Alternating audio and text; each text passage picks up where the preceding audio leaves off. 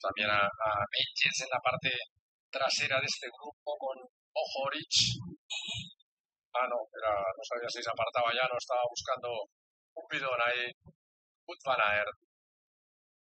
Dos, tres corredores y, y Pogacar, cuatro corredores del equipo Ineos. Que aquí son muchos, pero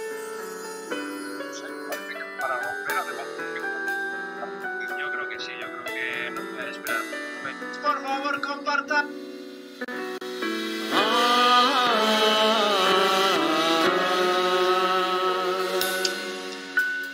La primera vez que Dios envió al profeta Elías, su mensaje liberó un remanente de siete mil. En la quinta vez que Dios enviará al profeta Elías, serán liberados 144 mil. Pero la cuarta vez que Dios ha enviado al profeta Elías, un pueblo gentil como la viuda de Sarepta obtendrá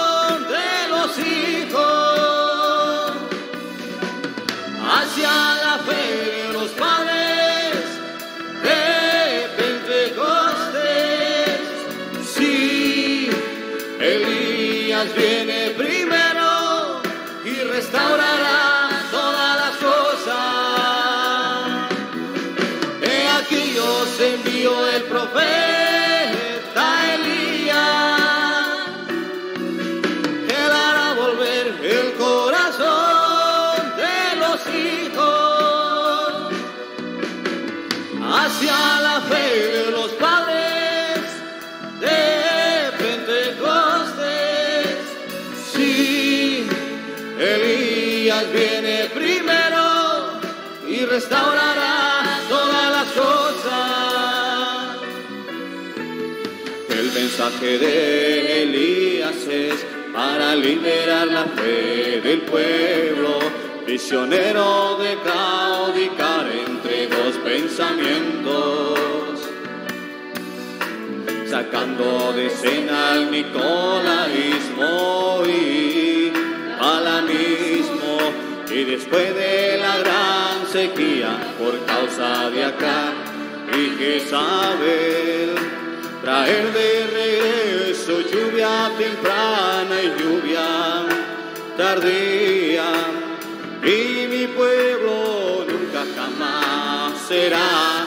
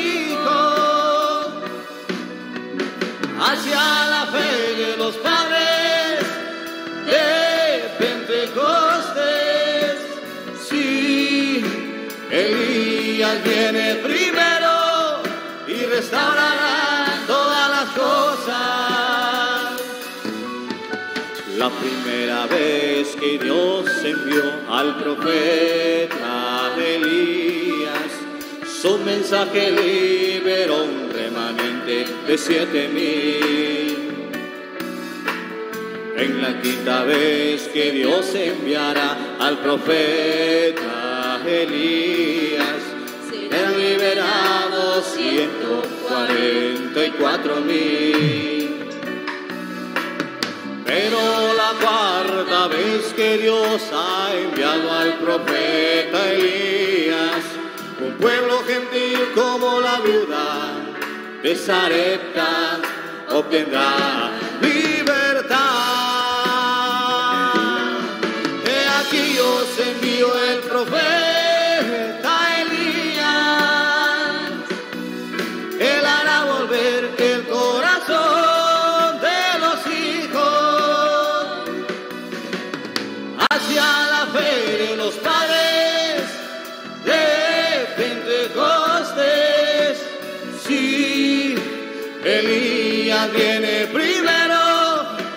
restaurará todas las cosas.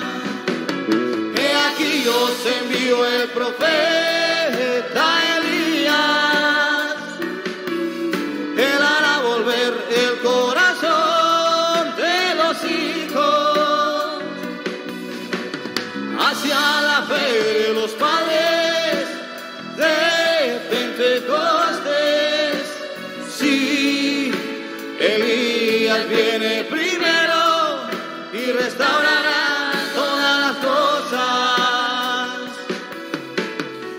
mensaje de Elías es para liberar la fe del pueblo, prisioneros de claudicar entre dos pensamientos sacando de escena al nicolaísmo y alamismo. Y después de la gran sequía por causa de acá y Jezabel, traer de temprana y lluvia tardía. Y mi pueblo nunca jamás será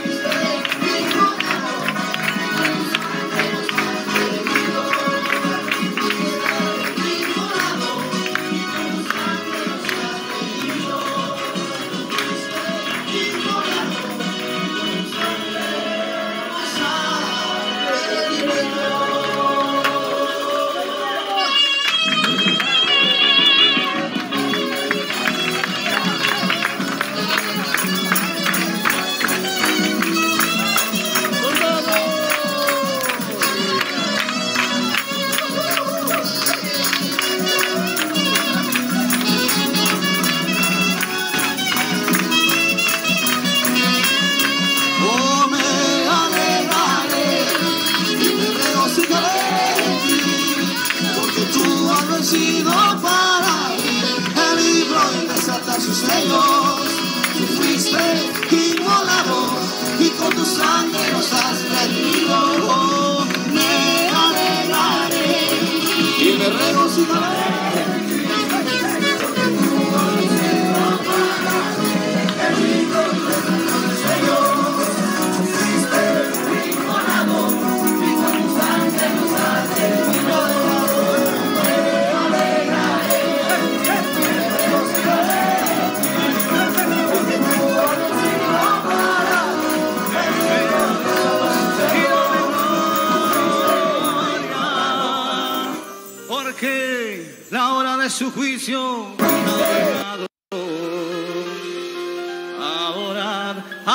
que hizo el cielo y la tierra. Adorad al verbo de Dios, el Mesías.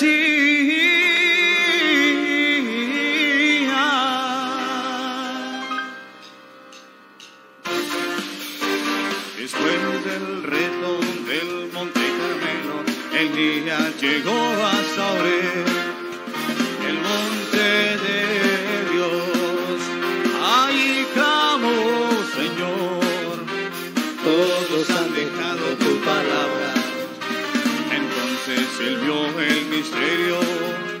de la séptima trompeta. Después del reto del Monte Carmelo, el día llegó a el monte de Dios. Allí clamó, Señor, todos han dejado tu palabra. Entonces, Señor,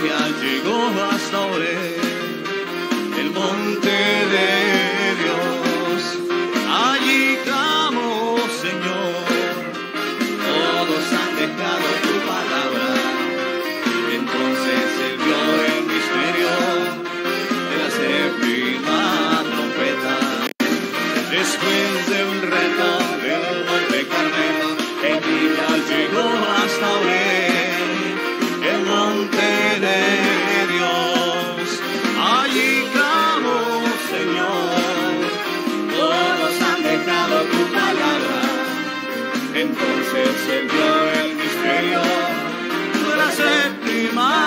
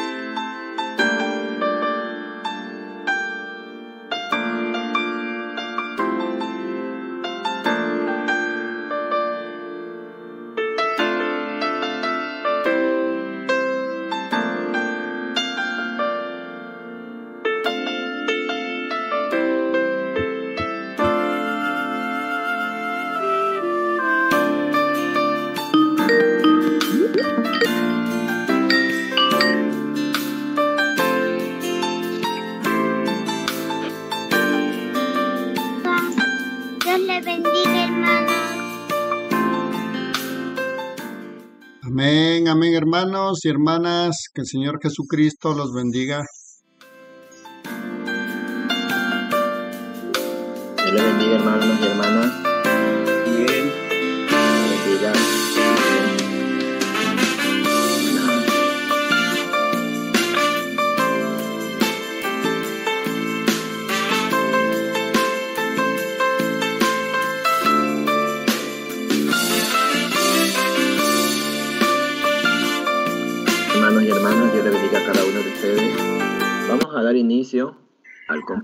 La palabra de Dios. Hermano José nos ayuda con la oración para empezar el compañerismo. Amén, amén, hermanos y hermanas. Dios te bendiga a todos. Vamos a darle gracias, Señor Dios Todopoderoso. Nos inclinamos ante ti una vez más, Señor, con mucho respeto, con mucha reverencia, porque es tu palabra perfecta, tu palabra de vida eterna, Señor. Dador de toda dádiva, oh grandioso Padre Celestial. Tú dijiste, Señor, en San Juan 15, 7, si permanecéis en mí y mis palabras permanecen en vosotros, pedid todo lo que queréis y os será hecho. Oh grandioso Padre Celestial, tu palabra ha sido tan perfecta que todo lo cumple, Señor. Hace seis mil años tú estabas en la cena con Adán. Cada dos mil años han sucedido eventos mundiales, desde Adán hasta Noé, dos mil años, desde Noé hasta Jesús, otros dos mil años, de Jesús acá, otros dos mil años, 2021 aparentemente que nada ha sucedido, oh Padre amado, pero ya ha sucedido y el mundo no quiere reconocer, oh Padre. Primera de Tesalonicenses 4:16. Si el mismo Señor con voz de aclamación, voz de arcángel y trompeta de Dios descenderá del cielo. Ese es- versículo de la Biblia estaba escrito por mucho tiempo. Tuvo que venir acá en Apocalipsis, venir el profeta que estaba en misterio, Apocalipsis 17, sino que en los días de la voz del séptimo ángel, cuando él comience a tocar la trompeta, el misterio de Dios será consumado, como así lo anunciaste a tu siervo, los profetas, oh Padre. Grandioso profeta que vino en la escena y fue directo a primera de Tesalonicenses 4:16, que decía que es la segunda venida de Jesucristo ya está sucediendo. En tres etapas, voz de aclamación, el mismo Señor descendiendo con voz de aclamación, voz de arcángel y trompeta de Dios. Oh Padre amado, y el mundo no va a reconocer, la las religiones no lo conocen, Señor, porque Apocalipsis 17 estaba escondido para sabios y entendidos, y tú lo revelaste para pequeñitos, para los niños que quieran aprender, oh Padre amado. Por eso nos acercamos con mucho respeto, porque es tu palabra. En esta tarde, oh Padre amado, permite hacerlo con, mucha sabiduría, porque tú en este último tiempo también enviaste ese espíritu de sabiduría, oh Padre esa unción del águila y como águila queremos comernos todos los días carne fresca, Señor. Eso es la razón, ese es el motivo por el que nos reunimos por este medio, Señor, a comernos carne fresca, Señor, que es tu palabra, mensaje escrito a través de todos esos mm, muchos años que han estado escondidos, Señor los hermanos y hermanas y niños que estarán en la escena, te decimos muchas gracias por este gran privilegio que tú nos has dado, Señor, para poder lecturar estos grandiosos mensajes, Señor. Permite hacerlo y respetando, oh Padre amado, porque tú dijiste en la Biblia que ni siquiera una coma, un punto seguirá, que no pasará antes que se cumpla la ley, oh Padre. Entonces queremos hacerlo de la mejor manera. Abre vuestra sabiduría, vuestros entendimientos para poder captar lo que el mensajero y tú veniste a- en la cena, Señor, a cumplir toda tu promesa, Señor. Y hoy cumpliendo Apocalipsis 18 en la cena, Señor. Muchas gracias y e iniciamos este compañerismo. Te lo pedimos, Padre, que tú nos unjas a cada alma que estará lecturando, Señor, en el nombre del Señor Jesucristo. Amén, mis hermanos y hermanas. Dios le bendiga. Amén, hermanos.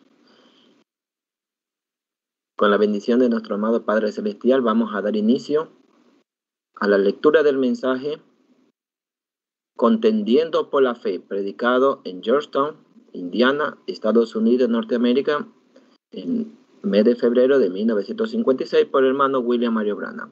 Voy a continuar con los párrafos del 10 al 13.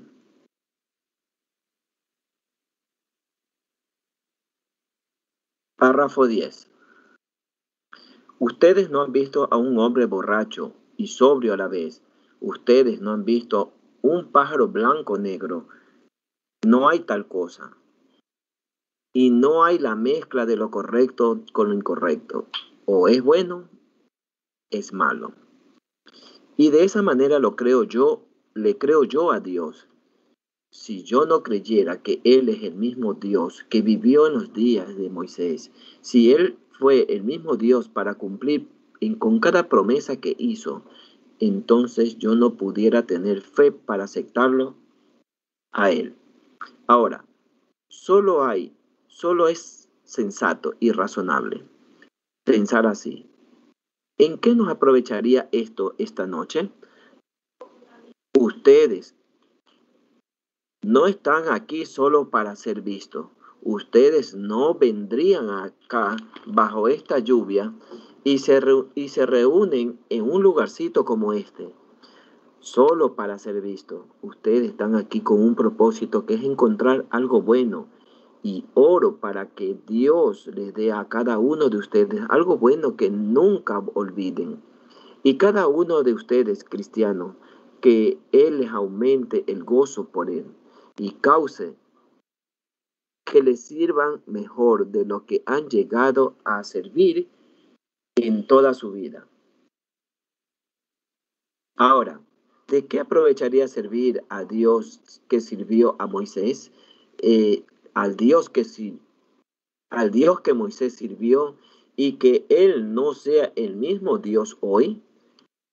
¿De qué aprovecharía servir a un Dios histórico? No es, si no es, si él no tiene poder y se ha ido y hoy está muerto, yo quiero hacerles una pregunta.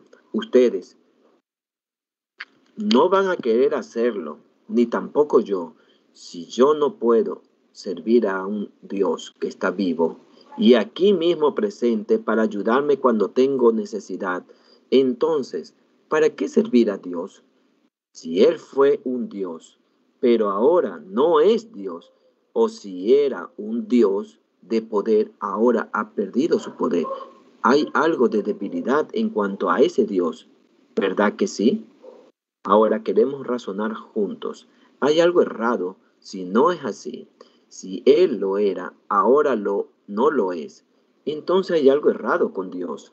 Si Él, si Dios era un gran guerrero poderoso en batalla y era un gran sanador de enfermedades, y Él era grande en todos sus atributos en los días pasados.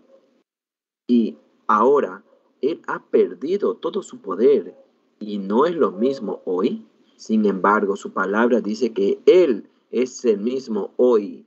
Prometió que haría las mismas cosas que toda, por todas las edades hasta que Él viniera otra vez. Es indiscutible.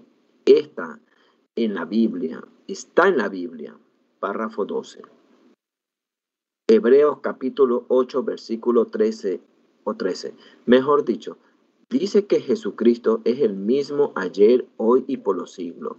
Eso es lo, el mismo en principio, el mismo en poder, el mismo en resurrección, el mismo en omnipotencia, el mismo en omnipresencia, el mismo en todo.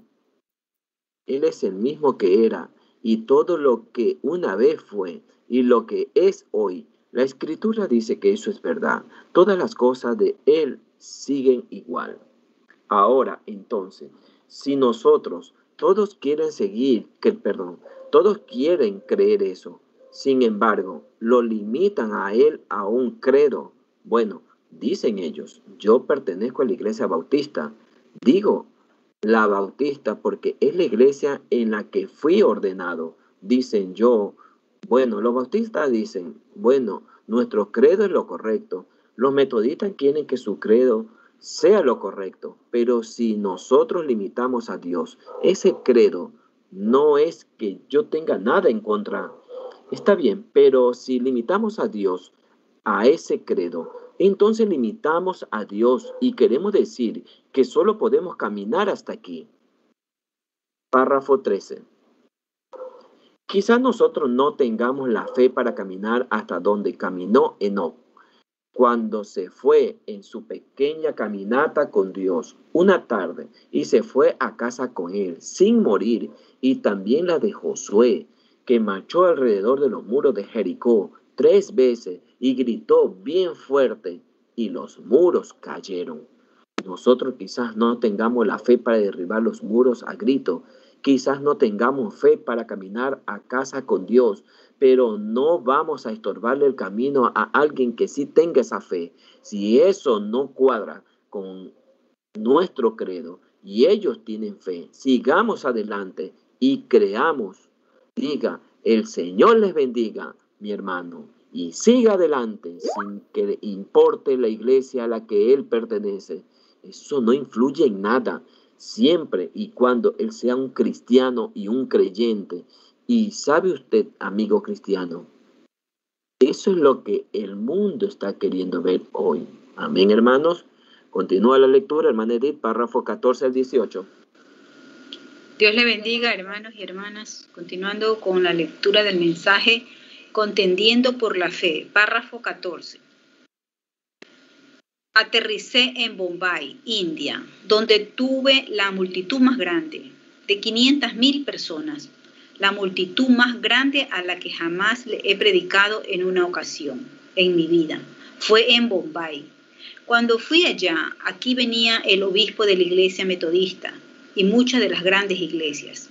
Allí venía el arzobispo, el hindú, la iglesia hindú de allí y muchas de las otras iglesias sobresalientes. Me recibieron allá donde miles de personas habían venido al aeropuerto y cuando vinieron, me hospedaron en el hotel Hat Mahal y se reunieron en un cuarto similar a este, con toda la celebridad de la ciudad, y las Rahat y todo eso. 15. Y el obispo de la iglesia metodista dijo, hermano Brana, nosotros no lo estamos recibiendo como misionero, dijo él, porque no queremos escuchar la palabra misionero dijo, pues, ustedes, la gente del occidente, con su educación occidental, no entienden la escritura a la luz de un libro oriental. Y eso es cierto. Con toda nuestra teología, si ustedes llegan a ir a Jerusalén o a la región oriental, donde fue escrita esta Biblia, ella viene a ser un libro nuevo para uno.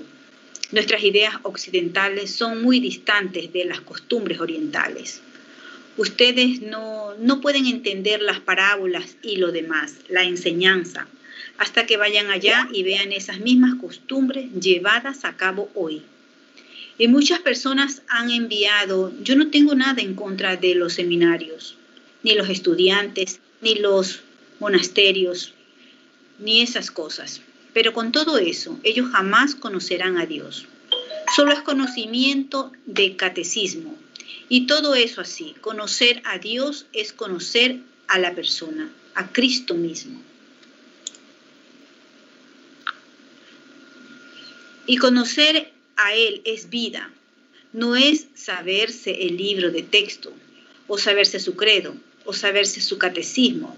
Eso no es la vida, es conocer a Cristo, la persona, lo que es vida eterna, y eso es lo que queremos saber. 16. Ahora, este obispo me dijo a mí, dijo, reverendo Branham, en cuanto a teología, dijo, nosotros teníamos la Biblia 1700 años antes que ustedes fueran una nación.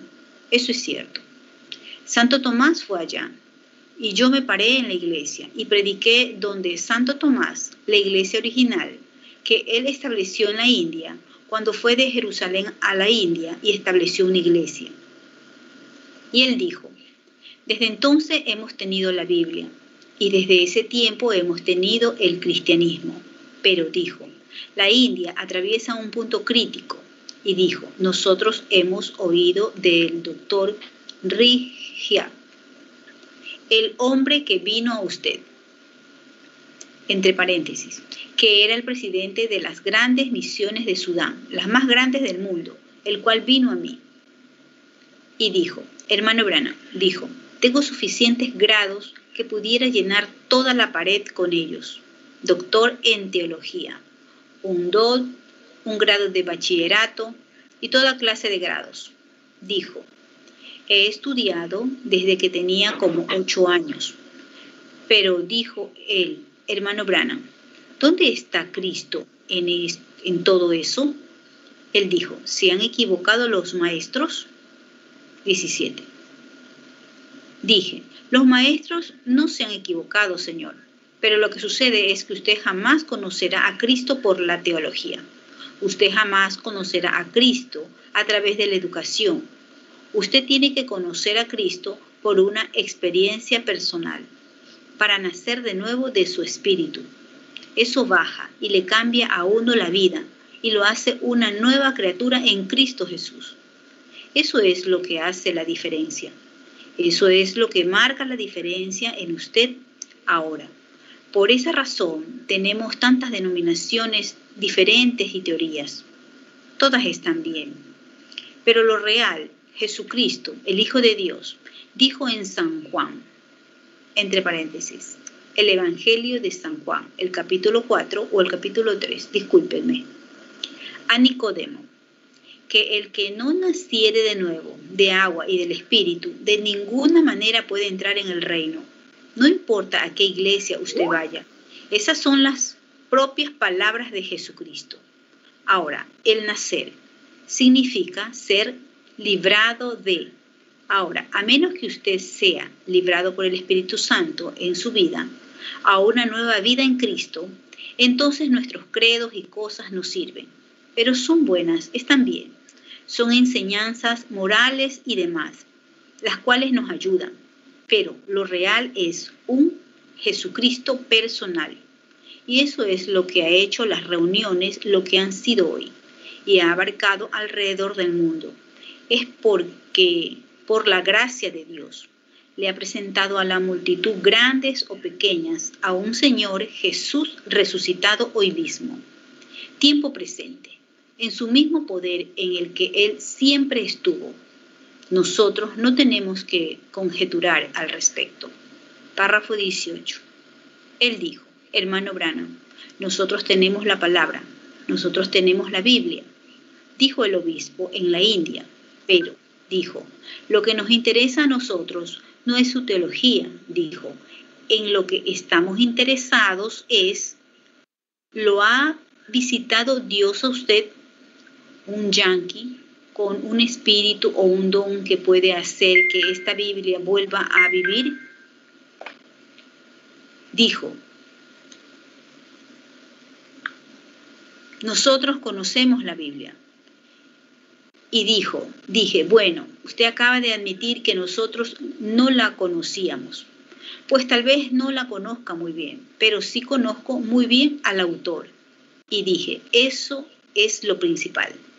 Él dijo, eso es lo que nosotros queremos saber.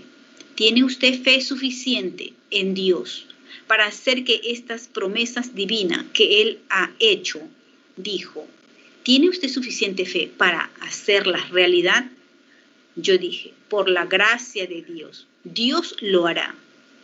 Y esa tarde fui recibido por 17 religiones diferentes que negaban la cristiandad, algunas que adoran el jején, y algunas a caballos, y algunas al ganado, y algunas a Buda, y maometanos y demás. Y todas ellas tenían sus teologías, muy bien. Todo era obras, algo que uno tenía que hacer. Haga esto, haga eso. Todo por obras, nada de gracia, en lo absoluto. Dios les bendiga, hermanos. Dios le bendiga, hermana. Continúa la lectura, hermano José, párrafo 19 al 22.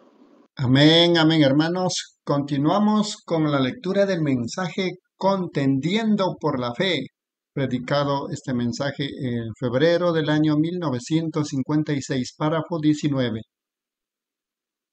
¿Suena demasiado alto para ustedes? ¿Hay rebote? Yo espero que no. Pero noten, esa noche en la línea de oración, cuando el Señor Jesús vino a la escena, allí estaban sentados las rojas en sus cojines y cosas, y tardamos más de dos horas para llegar al momento, para poder llegar a la plataforma del orador.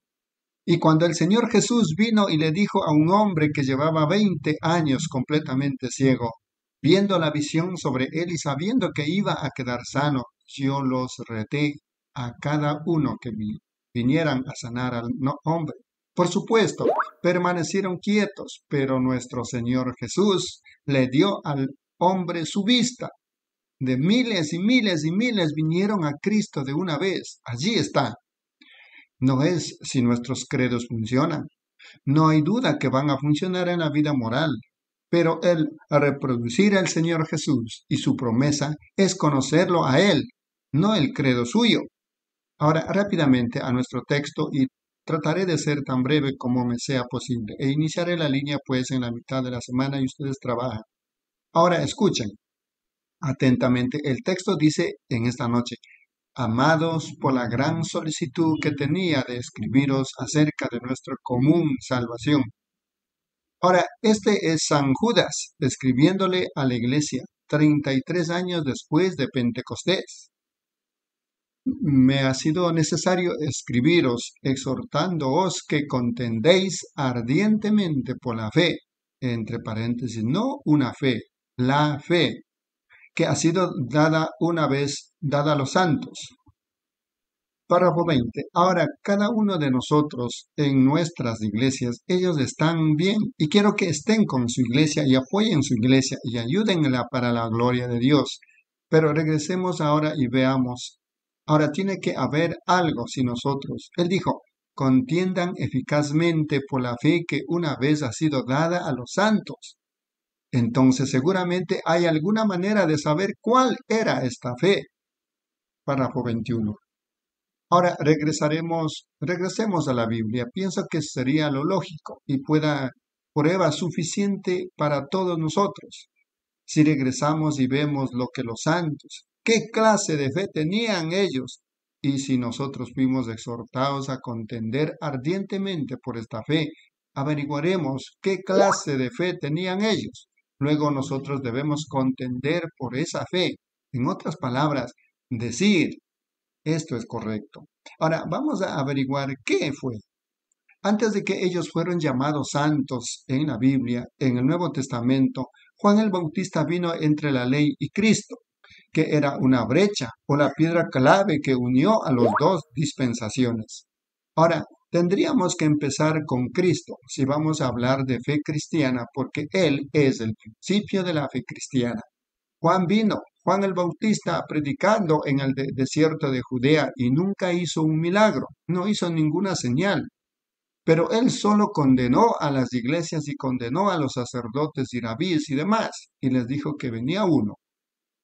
Y en el servicio bautismal, cuando estaba bautizando, él vio a Jesús que venía con una luz que lo seguía. Y él dijo, he aquí el Cordero de Dios que quita el pecado del mundo. Y Jesús fue bautizado, el Espíritu Santo bajo del cielo, y la voz de él decía, Este es mi Hijo amado, en quien tengo complacencia. La traducción original dice, ¿en quién me complace morar? Lo cual Dios estaba en Cristo, reconciliando al mundo consigo mismo. Él era Dios en carne. Ahora, notemos entonces qué clase de vida llevó él. Y quiero preguntarles algo a ustedes personas mientras hablamos. Lo que él fue entonces, él debería de ser. Si esa es la fe que él le presentó al mundo, esa debe ser la fe por la que nosotros debemos contender en esta noche. ¿Verdad que sí? Correcto, debe serlo. Muy bien. Párrafo 22. Por último, ahora lo notamos tan pronto él comenzó su ministerio. Bueno, observen la clase de ministerio que tuvo. Vamos a comenzar con el primer capítulo de San Lucas, citándolo de memoria. Ustedes tal vez léanlo cuando quieran. San Lucas, del capítulo 1, enseña que Jesús comenzó por allí haciendo el bien a la gente. Él oraba por los enfermos y ellos sanaban. Ahora, esa es una de las cosas que él hacía. Oraba por los enfermos. Y un día, ahora, escuchen entonces atentamente, pues eso, si no prestan atención, para captar cada palabra, les será a ustedes una piedra de tropiezo en los próximos 20 o 30 minutos cuando comience la línea de oración. Ven, ahora presten atención. Lo primero que encontramos haciendo a Jesús después que escogió a dos o tres de sus apóstoles, y el nombre de uno de ellos era Felipe.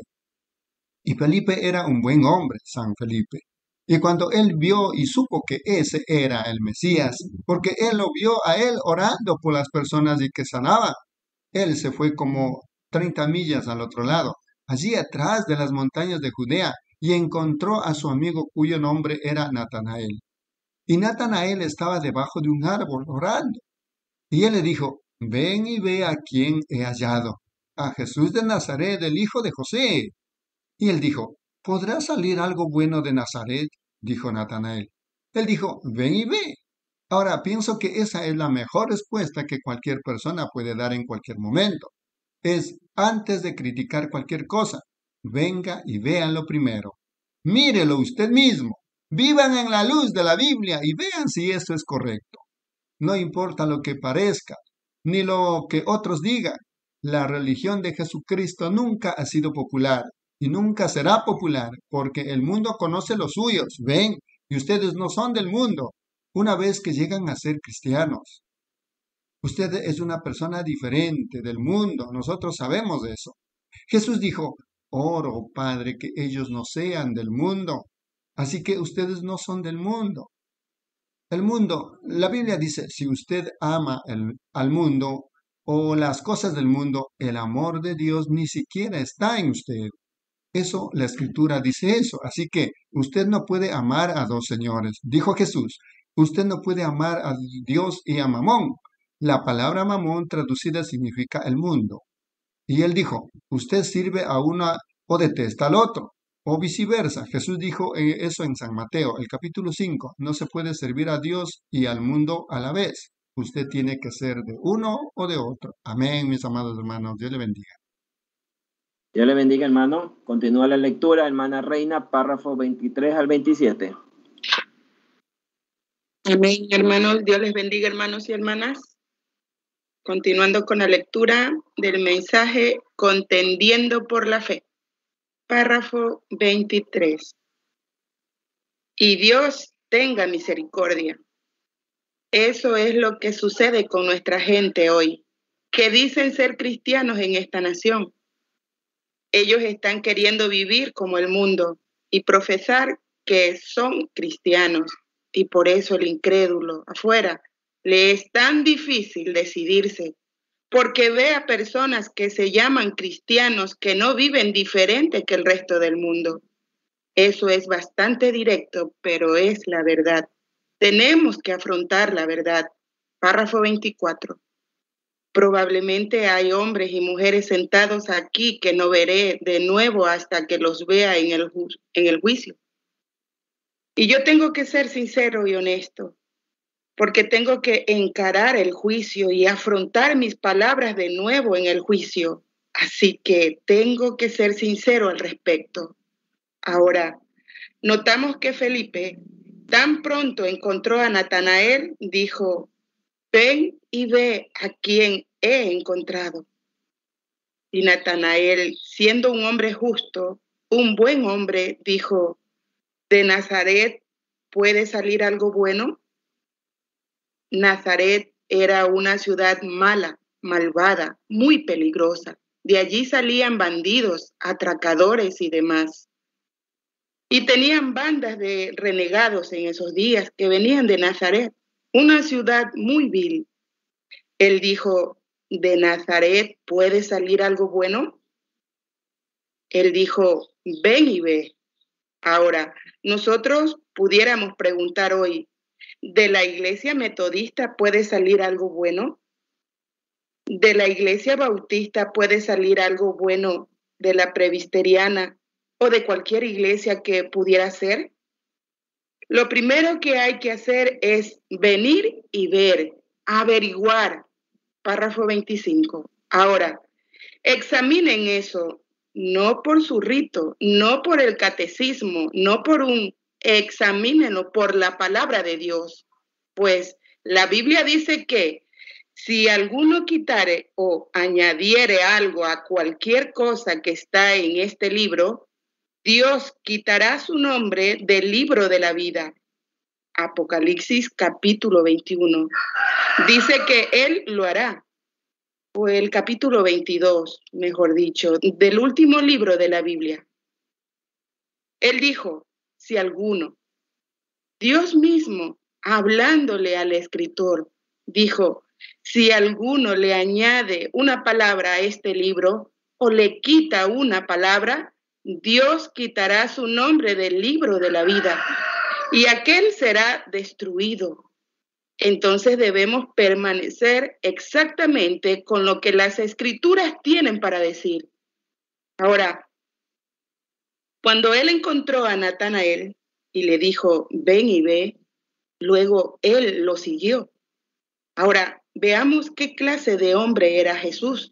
Ahora, si quisiéramos encontrar a Jesús en esta noche, si fuéramos, si alguien nos dijera que Jesucristo está en Georgetown, Indiana, ¿qué? Y él estuviera en carne humana, como lo estamos nosotros en esta noche, ¿qué clase de persona queremos nosotros encontrar? Párrafo 26. Ahora, esto puede sorprender, pues vendríamos nosotros buscando encontrar a un hombre vestido un poco diferente a cualquier otro hombre. Nosotros no estaríamos buscando a Jesús o no lo encontraríamos, pues él vestiría igual que los otros hombres. No hay diferencia en su vestimenta. Vendríamos buscando encontrar a hombres que fueran grandes oradores energéticos, enérgicos, grandes oradores dinámicos? No. La Biblia dice, su voz no será oída en la calle. Vendríamos en busca de un hombre que hace un gran jactancioso de su gran iglesia y así. No, no, Señor. La Biblia habló muy diferente de él. Dijo, él era varón de dolor y experimentado en quebranto él no era un gran charlatán o fanfarrón. Él era un hombre humilde y lo era. Y él dejó. ¿Lo encontraríamos entre la gente rica? Él nunca vivió con la gente rica. ¿Dónde lo encontraron a él? Uno lo encontraría entre los pobres. Él anduvo allí por la ribera y encontró pescadores. Piensen en la gran iglesia ortodoxa con todos sus grandes sacerdotes y sumos sacerdotes, y con su glamour y gloria en ese día. Y en ningún momento fue visitada ni aceptada por algún apóstol ni cualquier hombre de Dios. Cuando Dios envió a su Hijo, Él lo envió lejos de eso. Y Él fue muy severo al decirles que ellos estaban en hipocresía y les dijo, y les dijo de lo mal que estaban y en cuanto a todo. Y ellos dijeron que él tiene un diablo porque ni siquiera cree en una iglesia. Y ellos dijeron que él tiene un diablo porque ni siquiera cree en nuestra iglesia. ¿Ven? Y ellos eran la iglesia del día. Entonces, ¿lo ven? Ustedes no pueden guiarse por la iglesia. Ustedes tienen que guiarse por Dios. Ahí es donde ustedes tienen y por Cristo. Párrafo 27. Ahora, cuando Natanael vino por el camino, veremos entonces lo que encontró. Él encontró a un hombre parado allí, haciendo algo contrario a lo que la iglesia estaba enseñando. La iglesia enseñaba que los días de los milagros habían pasado. No obstante, aquí estaba parado Jesús, obrando, Levante la mano donde sea en el edificio. No me interesa en donde esté usted, solo levante la mano, diga, Dios, conforme a esto quiero que tú me sanes, Dios, ¿correcto? Es muy, es muy general por todos lados. Le diré lo que usted hará. Les dije a ustedes que Jesucristo, el Hijo de Dios, está aquí en la forma del Espíritu de Dios. ¿Es correcto? ¿Cuántos cristianos lo creen? Veamos las manos. Muy bien. Entonces, si Él está aquí y Él es el mismo Señor Jesús entonces él tiene, está obligado a él a hacer lo mismo. ¿Correcto? Ahora, él dijo que él no podía sanar. El padre le mostraba y él hacía lo que el padre decía, ¿correcto? Ahora, parada en la línea, yo sí conozco a esta primera dama parada aquí. Y yo no sé en este momento si conozco a alguien más o no. He visto a esa señora como segunda o tercera de allá, de la parte de atrás. La he visto a ella, pero no sé cuál sea su nombre, pero la he visto. Supongo que esos son los únicos de los que sé y son los únicos que conozco muy bien. Amén, hermanos. Dios le bendiga. Amén, hermana. Dios le bendiga. Continúa la lectura, hermano Alfonso, párrafo 28 al 32. Amén, hermanos. Dios les bendiga. Vamos a continuar con el mensaje contendiendo por la fe. Párrafo 28. Ahora inclinemos nuestros rostros un momento para orar. Ahora, Padre Celestial, este es el momento. He hablado a lo mejor de mi conocimiento de ti. Ahora, amado Señor Jesús, oro que me ayudes. Tú sabes que yo nada sé de estas personas. A veces conozco quiénes son, no conozco de sus problemas. Eso los lo sabes tú. Puedes decir lo de lo que desees y yo mismo me humillo y me sujeto a ti para que el gran Espíritu Santo venga en esta noche y tome a este pobre hombre indigno para la gloria de Dios y unge y no permitas que mis propios labios hablen, sino que hable el Espíritu Santo y haga las obras que Jesucristo, el Hijo de Dios, dijo que él haría por medio de su pueblo. Él en cada edad oro pidiendo esta bendición en el nombre de Jesucristo. Amén. Ahora voy a preguntarles una cosa. Si se paran reverentes y son humildes y no dudan y creen con todo su corazón, entonces el Señor, Dios del cielo, sin duda les sanará el cuerpo y les dará la salud. Párrafo 29. Ahora, es su fe, no es, ven, ahora es, es esto, ahora, aquí está, parada una señora. Yo creo saber quién, yo creo saber quién es la mujer. No estoy seguro, pero creo que sé, sé quién es ella. Es correcto, es correcto eso, que yo que no la conozco. Señora, yo creo que sé, sé quién es usted. Así es, muy bien. Ahora sí, pasa aquí por un minuto, ahora, y sabiendo su nombre, si sin conocerla, es su nombre, Seduc, Seduc, o algo así, o algo así. La hermana dice, no es el nombre de mi hermana. Oh, si esa es su hermana, usted me conocía cuando era una Wilson.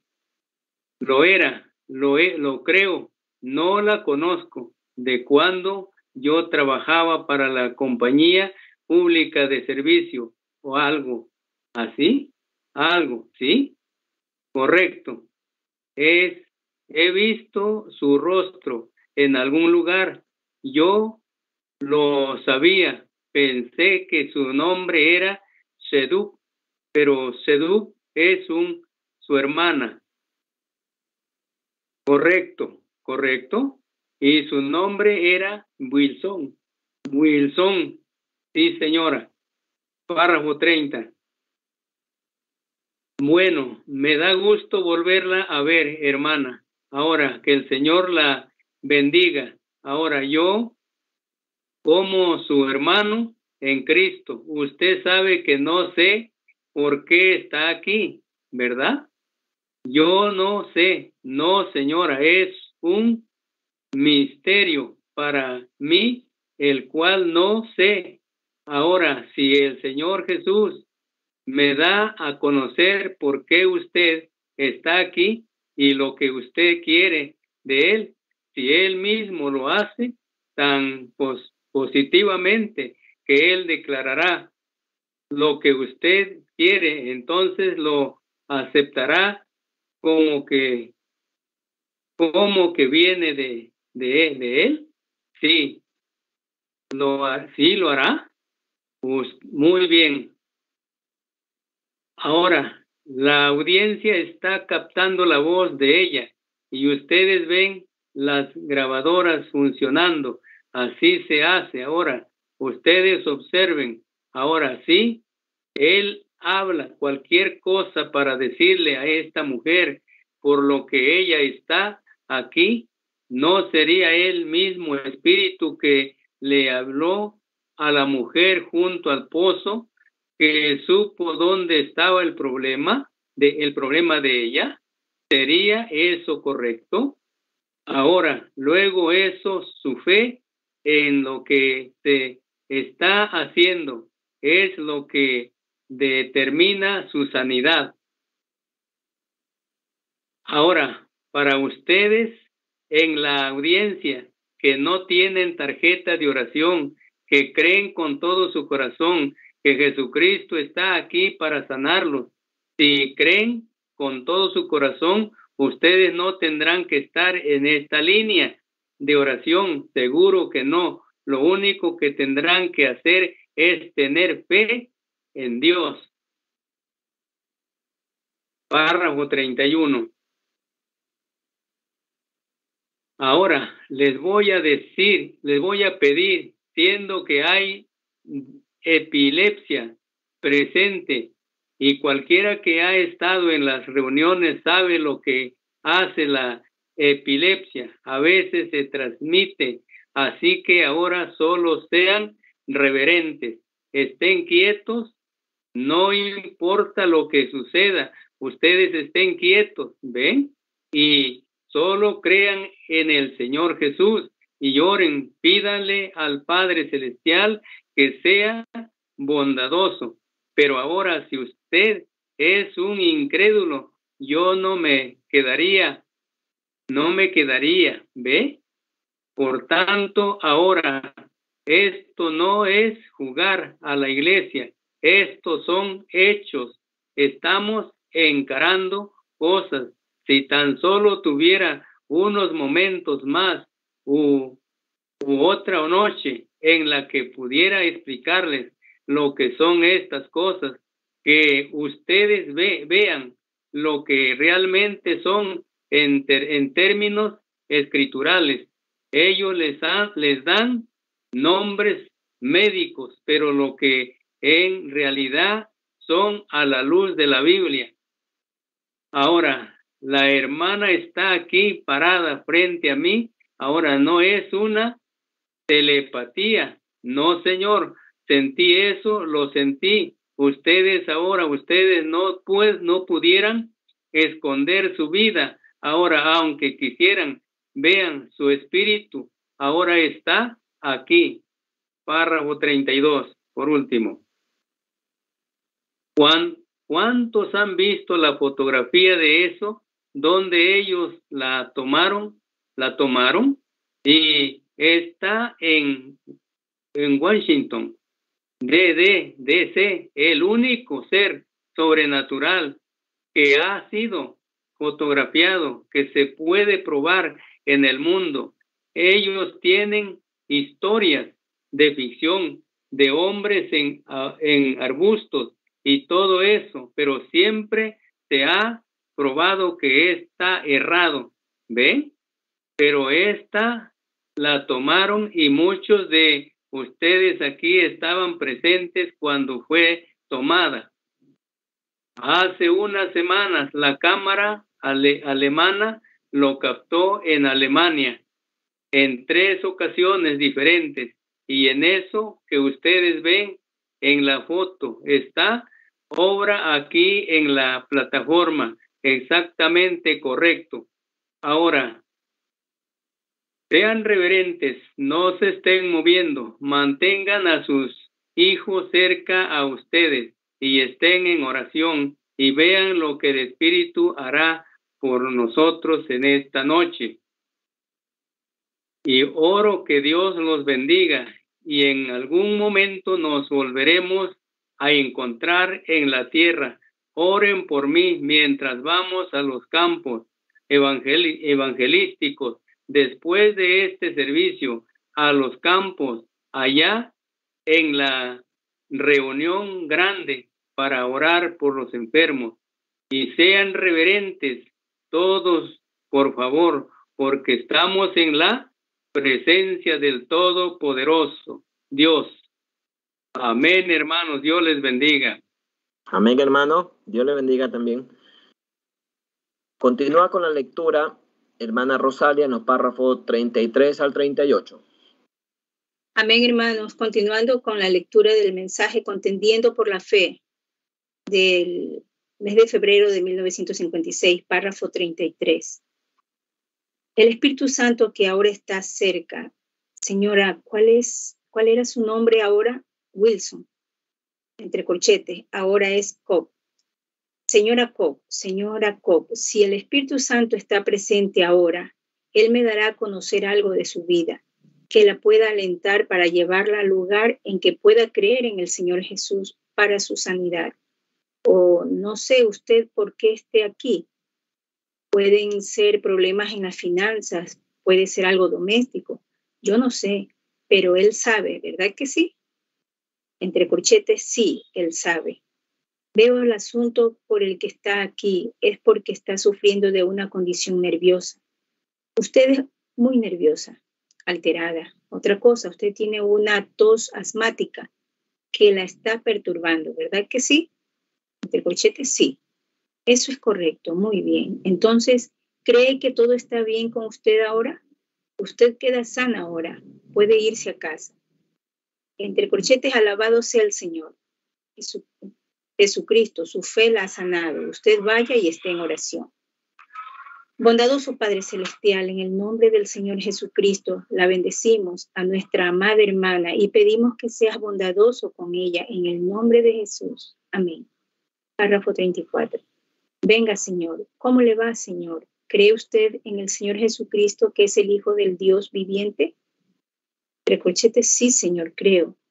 ¿Cree usted que Él está aquí para sanarlo? Sí, lo creo. ¿Cree usted? Yo lo sé ¿Usted sabe que Él está aquí para darle su salud? Fue esa la señora por la que se acabó de orar. ¿Era usted la señora allí? Ajá. ¿Usted tiene problemas en su costado sentado junto a ella? ¿No es así, señor? ¿Cree usted que Dios le puede dar su salud y sanarlo? Cuando ella pasó junto a usted, en ese momento usted sintió algo extraño. ¿No es así? Ese fue el Espíritu Santo. Usted tuvo problemas con su costado, pues eso ha salido ahora de usted, Señor. Su fe lo ha sanado. ¿Es correcto eso? Levante la mano. Eso es correcto, eso es correcto. Muy bien, Señor. Yo no conozco al hombre, no le he visto en mi vida, pero Jesucristo lo ha sanado, así como su fe tocó al Señor Jesús. Entre paréntesis, como en días pasados con la mujer con el flujo de sangre. Asimismo tocó la fe del hombre en ese momento. Usted no tiene que... ¿Qué piensa usted, la damita parada allí en la línea de oración, con el abrigo sobre el hombro? Entre golchetes, lo que usted ha dicho es la verdad. Yo creo cada palabra de eso. Dios la bendiga. Párrafo 35. Señora, allí detrás de usted, con la mano levantada, así, ajá, a usted. ¿Le gustaría evitar una operación? ¿No es así? piensa que ese tumor que, que Dios se lo puede quitar sin tener una operación? ¿Cree usted que Dios la sanará? Usted tiene un tumor, ¿no es así? Y eso es cierto. ¿Cree usted que Dios la sanará sin una operación? ¿Cree? ¿Acepta usted a Jesús ahora mismo como su sanador? ¿Lo hará? Bondadoso Padre Celestial, el rostro de la mujer llegó acá arriba y vi la visión frente a ella y el médico desen- desenrollándose, desenrollando ese lugar para, para su operación. Oro, Padre Celestial, que en el nombre de Jesucristo, que sanes a la mujer sin una operación para tu gloria. Amén. Ahora puede tomar su asiento. Usted no tendrá que pasar en la línea de oración. Su fe la ha sanado. Dios la bendiga. ¿Le creen ustedes al Señor Jesús? Si pueden creer, todas las cosas son posibles. Párrafo 36. La dama de pie, usted se fracturó el brazo, tiene el brazo allí lastimado. ¿No es así, señora? Ajá, usted es el coridón, es de coridón. ¿No es así? Alguien la acompaña, vino con usted, ¿no es así? Ella está sufriendo de una condición nerviosa, correcto. Si es así, levante la mano. Muy bien, ahora usted puede irse y regresar, recibir también su sanidad, señora. Amén. Es su fe, ¿lo es? Eso, ahora de eso estoy hablando, del Espíritu Santo. Señor, ¿creerá que su problema cardíaco lo ha dejado y que usted va a estar bien? ¿Cree? Muy bien, Señor. Entonces se puede ir. Amén. Digamos, alabado sea Dios. Alabemos todos. Párrafo 37. La señora que viene, ¿cómo le va? Supongo que somos extraños el uno para el otro. ¿Lo somos, señora? Yo nunca la he visto en mi vida. Soy perfectamente un extraño para usted, así como él, nuestro maestro, quien se paró junto al pozo y habló con la mujer. Y dijo, ella dijo, él dijo, dame de beber. Él quería entablar una conversación con ella. Ahora, esta siendo la primera vez en la vida que nos conocemos, es un hombre y una mujer de nuevo, ¿verdad que sí? Bueno, entonces si Jesucristo ha resucitado de los muertos y Él prometió que estaría con nosotros, en nosotros hasta el fin del mundo y que nosotros haríamos las mismas cosas que Él hizo, tendría que ser la misma clase de cosas. Entonces, si Jesús se parara aquí y tuviera puesto este traje que Él me dio, lo único que Él pudiera hacer en cuanto, si usted está enferma y necesita sanidad, Él le diría, ya lo hice en el Calvario, hija, ¿lo creería ahora? Pero ahora Él pudiera decirle algo, tal vez lo que ande mal con usted o algo, la razón por la que usted no sana, pero yo siendo un extraño para usted, eso vendría a ser lo mismo, ¿verdad? Por último, el párrafo 38. Entonces, todos bien reverentes ahora, recuerden, ustedes están en la presencia del Señor y el mismo Evangelio que les he leído en esta noche, ustedes lo ven viviendo de nuevo. ¿Ven? Yo nunca he visto a la mujer, no sé nada de ella, nunca la he visto a ella en mi vida. Dios la conoce, yo no, pero ahora yo le hablaré para contactar su alma. La unción que ahora está aquí conmigo es ese ángel del Señor, la columna de fuego que siguió a los hijos de Israel, que era Cristo en forma de espíritu. Bajó, se hizo carne, regresó al Padre, volvió de nuevo para vivir en su iglesia, sí, igual. No soy yo, es Él. Yo no conozco a la mujer, no sé nada de ella. Tengo una educación de séptimo grado. Amén, hermanos. Dios le bendiga. Dios le bendiga, hermana. Continúa la lectura, hermana Narcisa, párrafo 39 al 43. Dios le bendiga, hermanas y hermanos. Continuamos con el mensaje por la, contendiendo por la fe eh, del párrafo 39. Miren a las personas, noten que dicen, bueno, allá en la audiencia están siendo sanados, solo con estar sentados entre la audiencia, parados donde estén. Dios está aquí para sanar. Esto es todo. Si ustedes pueden creer, vea a un niño que está sufriendo. Perdón, veo a un niño que está sufriendo, pero no puedo decir que esté sano. Aún no lo sé. Por favor, sigan orando. Madre, sigan orando, madre, creyendo con todo su corazón. Ahora, de nuevo para usted, hermana, para hablar con usted. Ahora, ha habido hambre en su corazón, pero mucho tiempo, por mucho tiempo. Esa hambre es por una, por una vida más cerca de Dios. Usted se ha esforzado mucho en eso. Ha intentado y fallado. Ha intentado y fallado. ¿Verdad que sí? Altos, altos y bajos de la vida. Aquí, hace algún tiempo, usted estaba orando en algún lugar porque enfrentaba algo grave, como una operación o algo. O algo. Sí, eso es, sí, eso es. Lo veo, lo veo. Un médico, él le, él le ha examinado. Usted tiene algo en, en su, es su pierna. Está en su pierna derecha. El problema por el que va a ser operada. Usted hizo una promesa que si Dios le prometía, si Dios le permitía recuperarse, que usted le serviría a él y caminaría una vida más consagrada. Yo no estoy leyendo la mente. Eso es verdad. ¿No es así? Entre corchete la hermana dice en parte, en parte. Si eso es verdad, levante la mano. Párrafo 40. Ahora, hay algo aquí que usted sabe. Quiero preguntarle algo. En la presencia donde ahora estamos parados, y para que la audiencia tal vez lo sepa, usted ahora tiene un sentir que no ha sentido antes en su vida. Entre corchetes, correcto, y no se lo puedo explicar a nadie. Correcto. Eso es por esa luz. El Espíritu Santo está entre usted y yo. Y usted se remonta aún a cuando era, un, cuando era niña. Entre corchetes y antes parada en la línea sentada que podía. Y antes parada en la línea sentía que podía. Pude tener un sentir que no se lo puedo explicar a nadie. Ellos están sintiendo lo mismo allí ahora por la línea. ¿Ve? Es porque están en la presencia de algo que el mundo no conoce. Párrafo 41. Venga aquí para pedirle a Dios que la bendiga, hermana. Todos ustedes, ¿creen ahora con todo su corazón? ¿Creen? ¿Están creyendo? Si ustedes creen, digan amén. Bondadoso Padre Celestial, esta nuestra preciosa hermana se para aquí necesitada. Todas las cosas obran para el bien de los que te aman.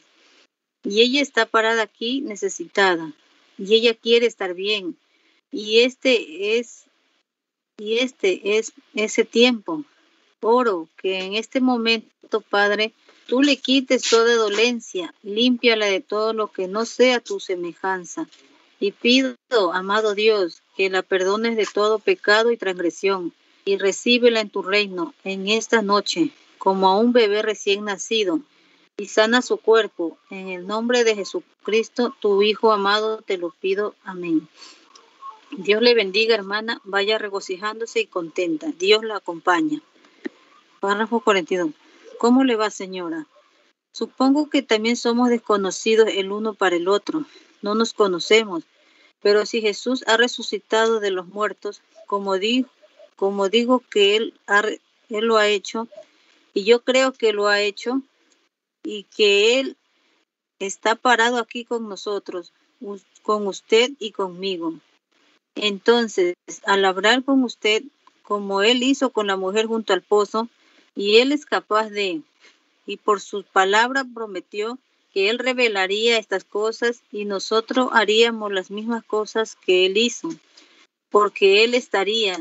Él dijo, estaré con ustedes, en ustedes, hasta el fin del mundo. Ahora, no se agite porque usted siente algo un poco extraño, a pesar de que es un sentir glorioso, pero usted no está. Ese no es su hermano, ese es Él, su Señor, no yo. Él. Ahora, la señora es desconocida. Sean muy reverentes. Sean muy reverentes, hermanos. Muy reverentes, por favor. ¿Ven? Yo no la conozco a ella. Dios sí la conoce. Yo no conozco a las personas, pero ustedes saben que hay algo que ha- aquí haciendo la obra del Señor, conforme a la manera que la Biblia dice que sería. Sí. ¿Lo creen ustedes ahora? ¿Ven? Bueno, ¿qué es? Es el Señor Jesús. ¿Ven? Aquí quiero hablarle a ella de nuevo, pues yo veo a la mujer ahora mientras se aleja de mí. Sí, la mujer está muy destrozada por eso. Oh, ha sufrido una crisis de nervios, ha estado muy mal y sufrió una crisis. Usted aún está sufriendo a raíz de eso. Es la verdad, ¿no es así? Entre corchetes, sí. Si es la verdad, levante su mano. Párrafo 43.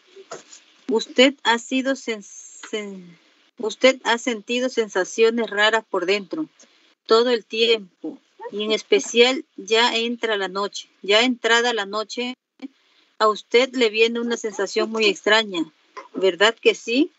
Luego la veo sentada en una silla. De hecho, es como tarde en la noche. Usted se cansa, no puede hacer su trabajo. Es verdad que es que es cierto. Aún le causa un problema estomacal, acidez y cosas cuando usted toma café o alguna otra cosa. Usted eructa ácido de- del estómago y así de esa manera es correcto. La veo apartándose de la mesa donde hay de eso, junto a la ventana, cerca de una ventana. ¿Verdad que sí? Levante su mano si es cierto. Dios les bendiga, hermanos y.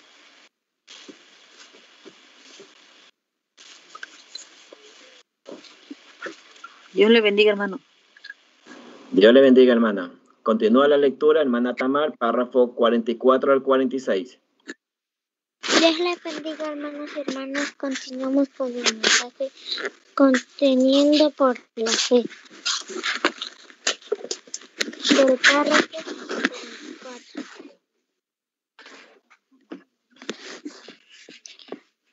Ahora algo aquí conoce su vida. ¿No es así? Se lo he dicho de la Biblia que Jesucristo hizo el mismo, prometió que nosotros haríamos lo mismo. ¿Cree usted que es Él? Veo una sombra muy oscura que de hecho la sigue que es un demonio. Y por poco ha logrado tenerla a que se suicide en algún momento diciéndole que usted había cruzado la línea separa, sepa, separadora, que usted nunca iba a ser salva, ver que sí será, ¿verdad que sí será así? Sí. ¿Creen ustedes allá ahora en la audiencia con todo su corazón? ¿Ven? Es perfecto, es cierto. El Señor Jesús, yo no lo sé lo que opinen. Yo no sé lo que opinen. Sé que algunos de ustedes se están preguntando por qué ahora no pueden esconder su vida. ¿Ven? Ustedes saben que yo no pudiera hacer nada por ustedes. Pero ustedes no pudieran esconder ahora mismo sus vidas aunque tuvieran que hacerlo. Están en la presencia de Él. Ahora, hermana, si puedo, si puedo por si puedo por la gracia de Dios, puedo hacer que eso de la deje ahora. Si usted usted se ha preguntado cuándo vendrá el tiempo de alivio, ahora él lo hará. Si usted le cree. ¿Le cree usted a él? La hermana dice, sí. Haré la oración. Usted créale a él. Ahora mire usted probablemente no ha estado más cerca en su vida que lo que está ahora. Entonces, para que la audiencia lo sepa y su amigo, donde usted está parada ahora, hay una sensación humilde, dulce, humilde, dulce alrededor suyo. ¿Verdad que sí? Como algo cerca. Eso no es su hermano, sino algo sobrenatural. Si eso es correcto, levante la mano. ¿Ven? Ese es el, ángel de oración. Ese es el ángel del Señor. ¿Ven? Estoy viviendo ahora en otra dimensión. ¿Ven? En un mundo espiritual. Ahora quiero orar por ustedes aprovechando esta unción. Ahora la misma cosa que conoce su vida está aquí. Veo que se remonta a cuando era niña pequeña. La veo usted como una niña pequeña. Usted estaba huyendo de algo. Era algo que la perseguía. Era un perro. Parece ser que usted venía de la escuela o algo hace mucho tiempo. Esto eso la atemorizó. Usted parece ser que ha sido nerviosa toda su vida. Eso es cierto, ¿no es así? Ve. ¿Ve? Ahí solo entre más le hablo, más va a mostrar la visión. Ahora por causa de estos otros, vamos a orar. Amado Dios, autor de la vida, Señor. Jesús, quien nos juzgarás a todos en tu venida, sabemos que somos personas destinadas a la eternidad y tendremos que encontrarnos contigo algún día.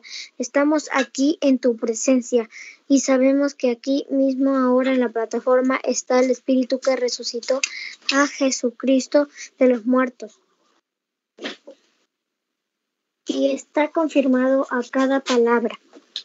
Padre, eres tan hermoso porque tú has manifestado esas cosas que son verdad. Tú hablas de la verdad y la señora está parada aquí siendo atormentada por un espíritu maligno que está tratando de que ella se suicide y haga cosas erradas erradas, pero tú estás aquí para quitar esto, Padre, y yo oro cosa en mi nombre, yo lo haré, y yo sé que tu palabra es verdad. Entonces, Satanás, ser maligno que has atormentado a nuestra hermana, te conjuro en el nombre de Jesucristo, el Dios vivo, sal de la mujer.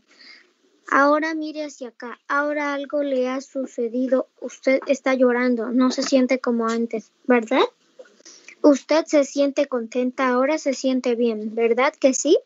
Levante aquí la mano para que las personas, para que crea usted va a estar bien y que regresará a casa y servirá al Señor. Muy bien, ahora siga su camino. Este muy contenta, eso no lo vendrá más. Eso no lo vendrá más. Digamos, gracias a Dios, mientras nosotros, mientras nosotros. Dios le bendiga, hermanos y hermanas.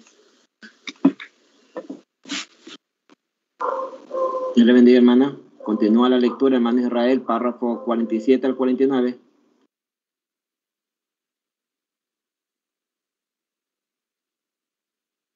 Dios les bendiga, hermanos. Continuamos con el mensaje.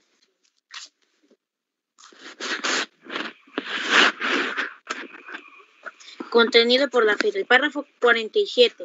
Muy bien, pasaría usted, hermana, siendo un desconocido por usted para que la gente no piense ahora.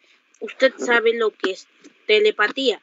Eso está en la mente de alguien. No puede decirnoslo. No puede decir discernirlo. Y cuando se da, voy a decir, ¿quién es así que usted está aquí? Eso no me, no me sigue viendo hasta la plataforma. Y creo que son los hombres del clero porque vi a la plataforma frente a mí. Solo quiero poner su mano. Solo quiero poner su mano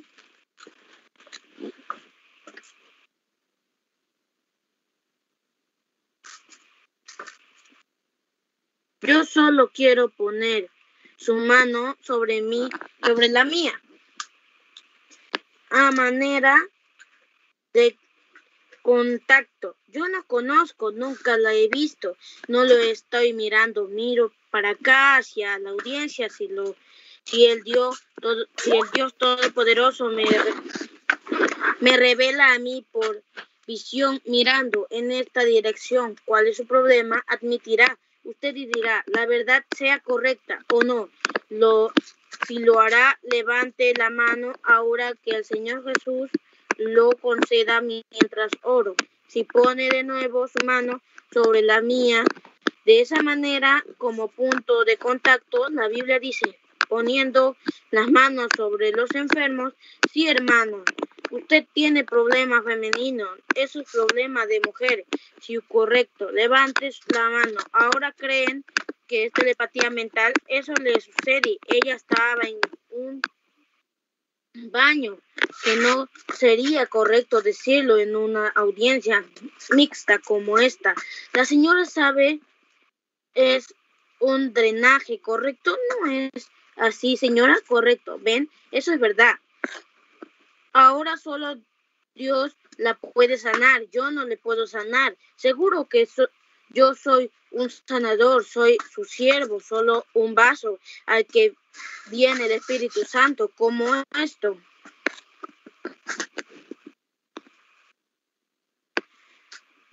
Aquí es un alto parlante. Esto acá no es un altoparlante, esto es un púlpito.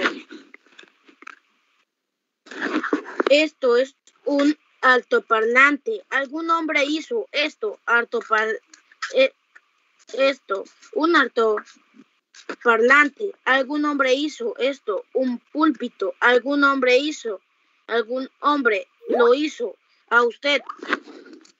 Predicador, alguien quiere decir, el Señor no dijo, no dijo, excúsenme, hermanos míos, no quise decir de algún hombre, lo hizo usted, a usted predicadores, no fui mi intención que saliera así de esa manera. Estaba diciendo que el hombre, y esto es como uno trabajar en dos mundos uno está aquí en otro mundo.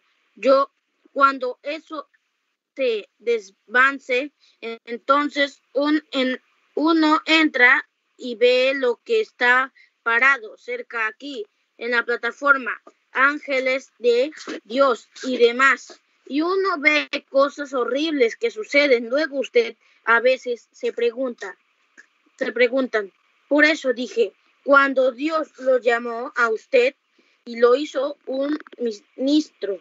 Dios me llamó a mí y me hizo vidente, como él, lo prometió en la Biblia. La Biblia dice, eres, en la Biblia dice, en Hechos, capítulo 2, en los postreros días, que son estos días, se cumplirán, que derramen mi espíritu sobre toda carne y vuestros jóvenes verán visiones.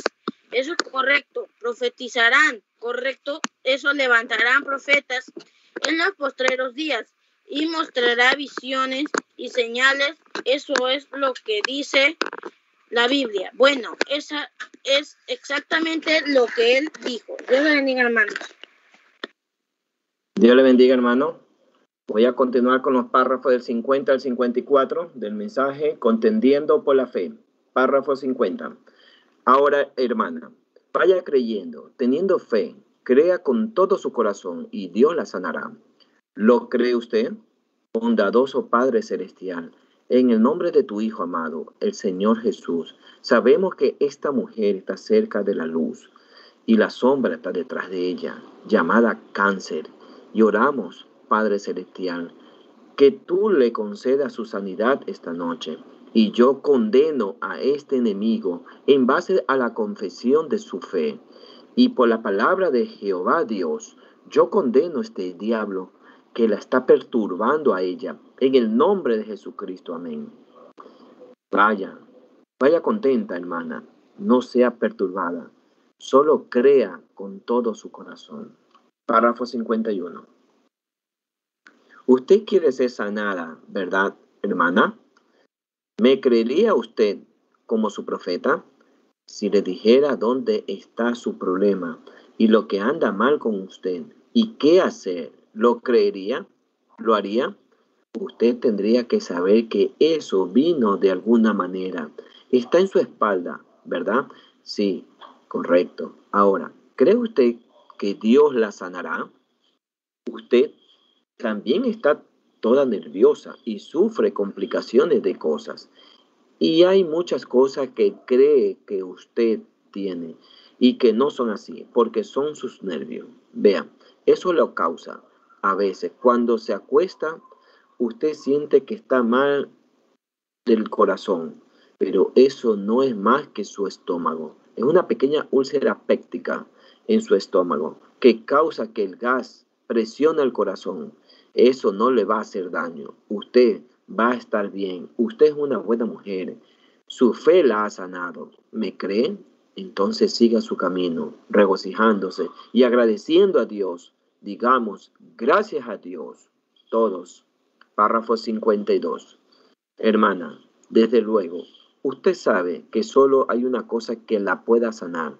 Es Dios. Dios es el único con quien puede curar el cáncer y dar la salud, pero Él puede hacerlo si usted puede creer. ¿Cree usted de todo corazón? Bondadoso Padre Celestial, en quien creemos, oro, amado Dios, que tu Espíritu Omnipotente toque a esta mujer y le dé su salud, como has dicho en tu palabra. Estas señales guiarán a los que creen. Lo último que dijiste, Jesús, cuando dejaste tu iglesia, dijiste, id por todo el mundo y predicad el Evangelio. El que creyere y fuere bautizado será salvo, mas el que no creyere será condenado. Y estas señales seguirán a los que creen. En mi nombre echarán fuera espíritu. En mi nombre echarán fuera espíritus malignos sobre los enfermos pondrán sus manos y sanarán. Señor, tú eres fiel a, tu palabra y por la comisión del Señor Jesús, por su palabra omnipotente. Y ahora pido que este mal se vaya, hermana, en el nombre de Jesucristo. Amén. Ahora vaya contenta, regocijándose y reciba su salud. Amén. Todos ustedes, la audiencia, ustedes jamás desearía que ustedes pudieran, pudieran pensar que estoy fuera de mí, entre paréntesis, entre corchetes, perdido del control de las facultades mentales. Pero no es así. No, Señor, no lo estoy.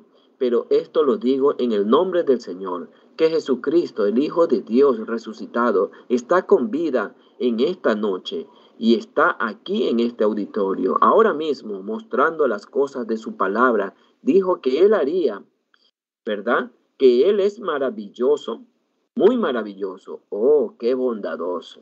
Párrafo 53. Estaba mirando una señora, pero creo que es la señora de atrás de ella, que tiene problema con la vesícula biliar, sentada allí, que le gustaría ser sana. ¿Cree que Dios la sanará, hermana? Sentada allí, justamente detrás de la señora. La señora algo corpulenta, mirándome. Bueno, ¿cree usted? Justamente allí detrás de la señora, usted estaba sentada allí orando. ¿No es así? ¿Eh? Usted, no, la señora sentada aquí, allí está esa. Si ustedes pudieran ver, si tan solo pudieran ver, ¿cuántos vieron la foto del ángel del Señor? Cuelga aquí, aquí mismo, sobre esta mujer, aquí mismo. Ella está sufriendo de algo en la vesícula. Es en él, justamente bajo el lado derecho aquí, lo que le causa el problema. Y ella estaba sentada allí, orando y pidiéndole a Dios que le diera su salud. Hermana, no tendrá que preocuparse más. Cristo la ha sanado. Amén. Le damos gracias al Señor. Párrafo 54. ¿Qué piensa usted, hermana? Somos desconocidos el uno para el otro, ¿verdad? No nos conocemos, Jesucristo nos conoce, ¿verdad que sí? Si Dios me revela a mí dónde está su problema o algo acerca de usted, lo cual sabe que yo no sé, ¿lo aceptaría a Él como su sanador? Yo soy su hermano, yo no pudiera sanarla simplemente, soy un hombre como su padre o esposo, hermano y así. Yo no soy ningún sanador, pero usted sabe que está parada en su presencia o algo que usted sabe que hay algo cerca aparte del hombre. ¿Es eso correcto? Ahora, es para, que, es para sus amigos allá. y como testimonio del Señor Jesús, para que ellos lo pudieran saber y para que la audiencia esté segura, pues después de esta noche habrá muchos que se pararán en juicio. ¿Ven? Para que ellos sepan. Solo quiero decir algo, tan solo desde que subió acá, aún ahora, que hay una sensación genuina de amor, humildad y dulzura alrededor suyo. ¿Es eso correcto? Si usted es cierto, levante la mano y yo nunca le he visto en mi vida. Ahora, para las personas que la conocen, ustedes no pudieran pararse así de cerca sin darse cuenta, cuenta de eso, reconocerlo. Y Él está aquí. Él es el Espíritu Santo. ¿Ven? Él tiene tal efecto sobre el humano. Tiene que ser algo. Por ejemplo, si usted ve algo a través del ojo, eso le causará a usted un efecto emocional. Y si hay un sentido de la sensación, y si hay algo afecta esa sensación, y si algo afecta esa sensación, eso trae emoción. ¿Ve? Usted tiene que sentirlo. ¿Ve? Tiene que reaccionar. Y usted está en su presencia ahora. Yo. Amén, hermanos. Continúa la lectura, hermana Edith, párrafo 55 al 60. Dios le bendiga, hermanos. Continuando con la lectura del mensaje, contendiendo por la fe, párrafo 55. Si Dios me dice cuál es su problema, entonces lo aceptará usted a Él como su sanador por eso. Su problema es problema de mujer, un desorden femenino, correcto. Usted sufre dolores bajos en el lado, ¿es correcto? Entre corchete, es correcto es un tubo y está infectado. Tiene un acceso allí y le está causando problemas. A veces es peor que nunca. La veo. Hay días cuando usted se sostiene firme y simplemente camina, casi crujiendo los dientes. Eso ha sido recientemente, ¿verdad que sí? Usted no cree que le esté leyendo la mente. ¿Verdad, hermana? Usted es creyente. 56. Ahora, Jesús dijo, estas señales seguirán a los que creen. Si pone sus manos sobre los enfermos, ellos sanarán. Ahora, la Biblia dice que estas cosas acontecerían. Y ahora mismo ustedes están, miren, primero, la palabra. La palabra de Dios dijo que estas cosas acontecerían. Aquí usted se me acerca, una extraña, nunca me ha visto. Y tan pronto llega acá arriba, usted ha caminado frente a hombres todo el tiempo, ministros, pero nunca sintió algo como esto en su vida. ¿Ve? Luego algo baja aquí. Esta persona hermosa que está aquí ahora con nosotros le dice a usted dónde tiene el problema y lo que ha estado haciendo. Entonces usted sabe que eso tiene que ser algo sobrenatural. ¿No es así? Entonces, ¿cree usted que yo soy un creyente? Entonces, si le impongo las manos y pido por su sanidad, tendrá que sanar. ¿No es así? Entonces, pase adelante, por favor. Permítame poner la mano sobre la suya y vamos a orar mientras inclinamos nuestros rostros. Nuestro amado Padre Celestial, Sabemos que tu presencia está aquí y que, tú eres omnipotente, eres omnipresente. Y oro por medio de Jesús, el Hijo de Dios, que sanes a nuestra hermana. Y ella está parada aquí en presencia tuya ahora y de tu unción. Y pido que tú saques eso maligno de su cuerpo. Ahora sabemos que eso le quitaría la vida y le enviaría prematuramente a una tumba pero tú estás aquí para quitar eso. 57. Y Padre, oramos para que lo hagas y sabemos que recibimos lo que pedimos, pues tú estás aquí para testificarnos a nosotros que has resucitado de los muertos. Y tú conoces a esta mujer, la conoces desde que llegó a la tierra. Y tú estás aquí revelándole las cosas que ella ha hecho en su vida y lo que la está afligiendo. Y ahora, con la autoridad de la palabra de Dios, yo vengo a retar al enemigo en su cuerpo, a ti, enemigo, llamado el diablo, Yo vengo reclamando un don que me fue ministrado por un ángel, del cual tú, Satanás, estás enterado. Y te conjuro por el Dios vivo, Jesucristo, el Hijo de Dios, a que salgas de la mujer y no la atormentes más. Amén. Dios la bendiga, hermana. Vaya usted creyendo con todo su corazón. Usted sanará. Escríbame su testimonio. Cuénteme lo que sucedió acá arriba cuando venga. 58. ¿Le gustaría recuperarse de ese problema cardíaco? Señor, ¿estar bien? Baje de la plataforma. Diga, gracias Señor Jesús por sanarme. Y usted se recuperará. Amén. Crea ahora con todo su corazón. Yo quiero preguntarle algo. Cuando le dije a él, problema cardíaco, algo le sucedió a usted, ¿verdad que sí? Pues también es lo que usted tenía, entre cochetes, correcto. Cuando estaba parada allá en la audiencia, hace unos minutos, usted dijo, sí, yo creo.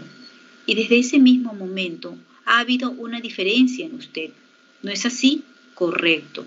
Pero vea, entre paréntesis, yo estaba creyendo lo que usted le estaba diciendo a ese hombre.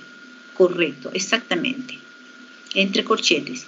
Y eso del problema cardíaco, no estaba pensando en mí misma. Lo sé, pero cuando usted me oyó decirle eso a ese hombre, lo que dije, entonces algo, usted se sintió de maravilla, ¿verdad? Ahora, eso es lo que vino a usted, para traerle su sanidad. ¿Me cree con todo su corazón? Entre corchetes, sí, yo creo, con todo mi corazón lo creo. Entonces venga, bondadoso Padre Celestial, oro en el nombre de Jesús, que manifiestes tu amor por esta mujer y la sanes y la restaures completamente mientras le pongo las manos en el nombre de Jesucristo. Amén. 59. Entonces me pregunto, ¿cuántos aquí creen ahora de todo corazón? ¿Creen ustedes? Levanten la mano. ¿Hay alguna persona aquí que no sea cristiana antes de que oremos? Por más personas enfermas que digan, ahora acepto a Jesús como mi Salvador he sido un poco temeroso en mi vida.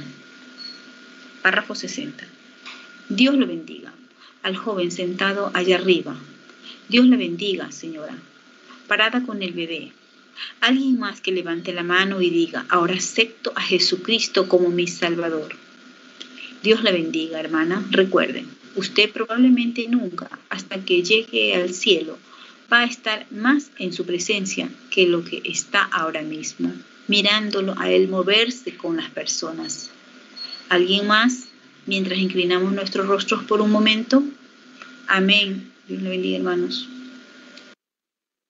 Amén, amén, hermana Edith. Dios le bendiga la lectura. Y vamos a continuar, mis amados hermanos, y concluir con el mensaje Contendiendo por la Fe, mensaje predicado en febrero del año 1956. Párrafo 61. Padre Celestial, tú quieres que la gente crea en ti, quieres que la gente te ame. Cuatro o cinco han levantado las manos que quieren aceptarle a ti como su Salvador personal. Oro, Padre, que obres ahora mismo y permite que hombres y mujeres que nunca han venido a ti o que tal vez se aparten de ti, de la iglesia y de la adoración y quieran regresar a ti y saben que tú estás aquí y ellos saben que eres tú que les estás hablando ahora mismo.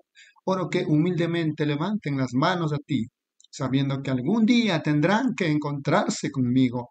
Y quizás antes de que termine este año o tal vez que termine esta semana, ellos quizás vengan a encontrarse contigo y ellos quieren venir en paz, sabiendo que sus pecados están perdonados. Y Padre, les doy por tu palabra, la promesa que tú dijiste, el que oye mis palabras y cree al que me envió, tiene vida eterna, y no vendrá a condenación, mas ha pasado de muerte a vida. Párrafo 62.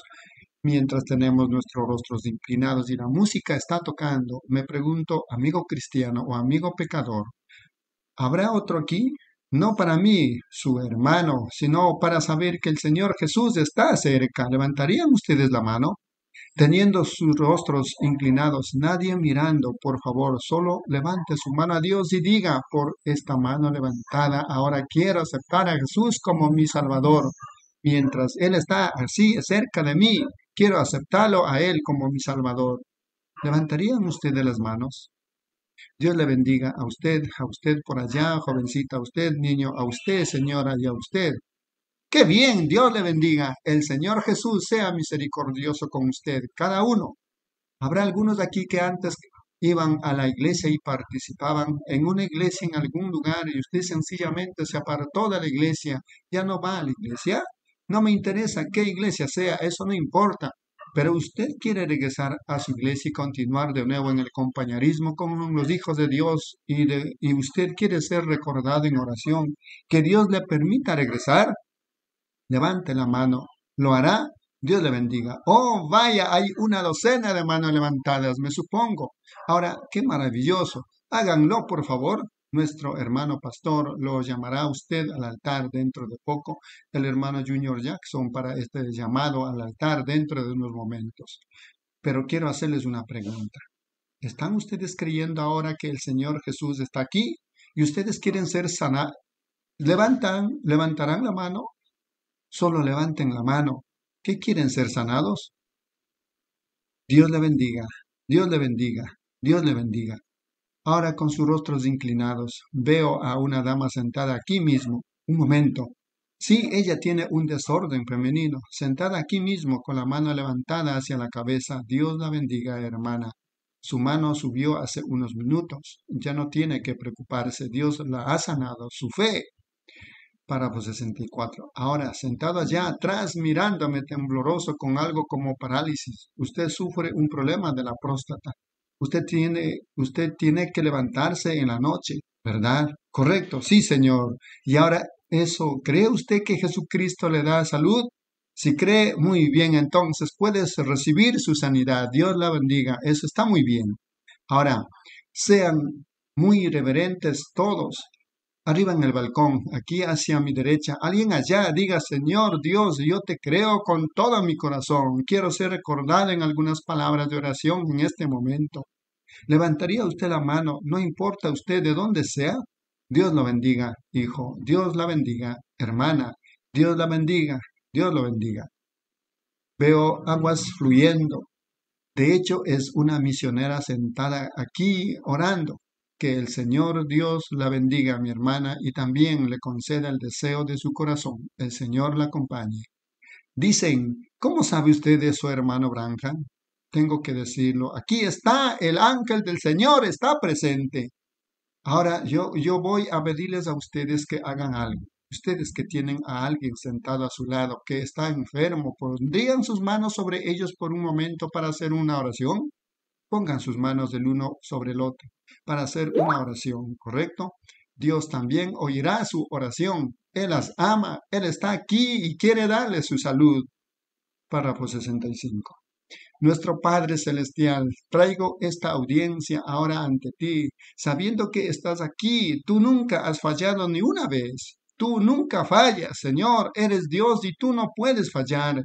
Y tu actitud hacia estas 10 o 15 personas que han pasado por la plataforma en esta noche es tu actitud para con cada uno de ellos. Hay varios allá en la audiencia, tal vez 8 o 10 allá entre la audiencia, sobre las cuales mostraste visiones, dijiste de sus enfermedades y qué pasaba con ellos.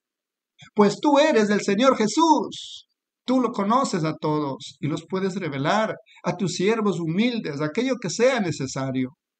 Y oro, Padre Celestial, ahora mismo, sabiendo que tú lo ves cómo ahora están. Y oro que tu gran corazón, el cual sé que sobrepasa toda compasión humana, sin embargo, míralos y ve sus necesidades y sánalos a cada uno, Señor. Tú conoces su condición en esta noche. Oro en el nombre de Jesús, que ahora mismo que tú lo sanes, y el enemigo, el diablo que los ha atado y la incredulidad que los ha atado a ellos a circunstancias. Yo te conjuro, enemigo de Jesucristo, a que salgas de la gente y déjalos en el nombre de Jesucristo. Ahora, con sus rostros inclinados, creyendo de todo corazón que Jesucristo, el Hijo de Dios, está aquí y los está sanando, que ustedes están en su presencia y ustedes creen, y si ustedes creen de todo corazón y creen que puede aceptar su sanidad con su rostro inclinado, levanten la mano. Si sienten que ustedes pueden aceptar su sanidad, que ustedes han quedado sanos, Dios le bendiga. ¡Qué maravilloso! Toda la audiencia y cada uno cree yo que ha levantado la mano, está aceptado, aceptando ahora su sanidad. El Señor los bendiga mientras inclinamos nuestros rostros de nuevo para una oración del hermano Junior Jackson con sus rostros inclinados. Muy bien, hermano Jackson. El Señor. Amén, mis amados hermanos y hermanas. Hemos concluido con el mensaje Contendiendo por la Fe. Este mensaje fue predicado en febrero del año 1956. Vamos a pasar a un nuevo mensaje titulado Compañerismo, predicado en Minneapolis, Minnesota, Estados Unidos, el día 12 de febrero del año 1956. Para continuar, iniciar con este nuevo mensaje, hermana Reina, por favor, de los párrafos 1 al 5. Amén, amén. Iniciando con el mensaje compañerismo predicado el 12 de febrero del año 1956. Párrafo 1. Muy feliz de estar aquí esta tarde en el nombre del Señor para disfrutar este gran tiempo de compañerismo aquí en esta convención. Pasé bastante tiempo para llegar aquí arriba. Ustedes tienen nieve en esta región y eso es un tanto difícil para mi sangre sureña al venir atravesando por unas 8 pulgadas entre corchete 20 centímetros de nieve allá en Chicago, pues había, pasaron por alto algo allí.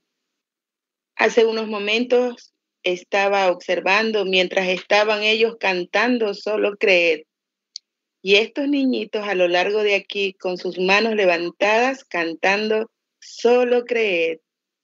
Reconocí a los niñitos Estanclet. Allí estaban cantando, solo creed. Está muy bien. ¿Creen ustedes? ¿Cree usted, hermano? Eso está bien. Párrafo 2. Pues es bueno estar en Minneapolis esta noche no conozco ningún lugar en el que prefiera estar, salvo en la gloria. Ustedes saben que todos estamos esperando ese gran día, pero estar reunidos aquí en esta convención. Estaba hablando con uno de los hermanos allá afuera hace unos momentos cuando llegué y me estaba contando acerca de la cosa maravillosa que el Señor estaba haciendo aquí en esta área de Twin City cómo es que todos están llegando a ser unánimes y de un mismo corazón. Ahora, eso me suena a lluvia en abundancia. Cuando vean que comenzamos a, derribar las barreras y a unirnos, entonces la Biblia dice, si el pueblo sobre el cual mi nombre es invocado se reúne y ora, entonces yo oiré desde el cielo esa es la única forma en que tendremos un avivamiento, es cuando nos unimos. Párrafo 3. Recientemente escuché a dos clérigos sobresalientes discutiendo el tema de sanidad divina en la Biblia. Cada uno dijo que sería radical pensar que los muertos pudieran resucitar o que los milagros de Jesús pudieran ser absolutamente posibles. Dijo, porque era demasiado que cosas como esas que no podían tomar forma en la sanidad de los enfermos y los leprosos y demás. Ellos dijeron, oh, tal vez, quizás eso fue un cuento que dijeron alrededor o algún efecto psicológico que tenía sobre las personas, y, pero la cuestión es que Jesús lo hizo. Y luego al final de su conversación, Ambos podían creer en el milagro de salvación. El perdón de pecados va más allá que cualquier sanidad física que pudiera hacerse. Era el milagro del perdón de pecados. Párrafo 4. El milagro más grande que se haya llevado a cabo es cuando Dios toma algo y lo convierte y lo trae de regreso a sí mismo igual como usted podría tomar un animal por la ciencia y dejar caer una gota encima de un puerco y hacerlo un cordero. Ahora, ese es el milagro de eso, cambiar toda su naturaleza, apetitos, actitudes, todo. Eso es lo que Dios hace cuando Él salva a un hombre del pecado. Él cambia toda su, su hechura. Así que el milagro más grande que cualquier clase de sanidad divina que yo he visto, y por la gracia de Dios he visto casi todo lo que podía pensar o escuchar, realizado por nuestro Señor Jesús, incluso resucitar a los muertos después de haber partido. Y todavía creo que la salvación es el milagro más grande. Párrafo 5. Ahora, tenemos grandes cosas que podemos hacer en la esfera de la fe. La fe obra grandes cosas para nosotros. Y si ustedes, hermanos, aquí obtienen su, y ustedes no pueden tener fe hasta que tengan amor, eso es todo lo que hay al respecto. Ustedes solo, el amor perfecto echa fuera todo temor. Y mientras tengan temor, no pueden tener fe. Así que tienen que tener amor primero. Eso saca todo temor. Y entonces la fe entra, toma el lugar del temor. Así que cuando ustedes tienen esto, vienen de una manera correcta. Ahora, estaba pensando en cómo Jesús, o Dios dice en Salmo 103, versículo 33, yo soy Jehová que sana todo, todas tus dolencias. Bueno, vemos hoy y vemos la ciencia y están haciendo grandes cosas. Los doctores están haciendo grandes operaciones y grandes cosas están sucediendo y los quiroprácticos avanzando y vemos a los practicantes avanzando y todo lo que vemos está avanzando. Y luego también la iglesia del Dios vivo está marchando hacia adelante, pues están sucediendo cosas hoy que hace 10, 15 años la gente pensó sería una perfecta imposibilidad para que las cosas sucedieran, pero hoy las estamos viendo suceder. Amén, hermanos. Dios les bendiga. Amén, amén, hermana reina. Dios le bendiga la lectura. Estamos lecturando para recordar el mensaje compañerismo predicado el día 12 de febrero del año 1956. Voy a lecturar desde los párrafos 6 al 12 mientras se realizan las anotaciones y, la, y el orden para lecturar. Párrafo 6. Alguien dijo, pues ahora, hermano Branham, ¿es usted un apóstol o un profeta? Yo dije, nunca dije que yo era ninguno de los dos. Dije, yo dije, yo soy un siervo del Señor. Él dijo, bueno, ¿cree usted que tiene el Espíritu Santo? Yo dije, sí, creo eso.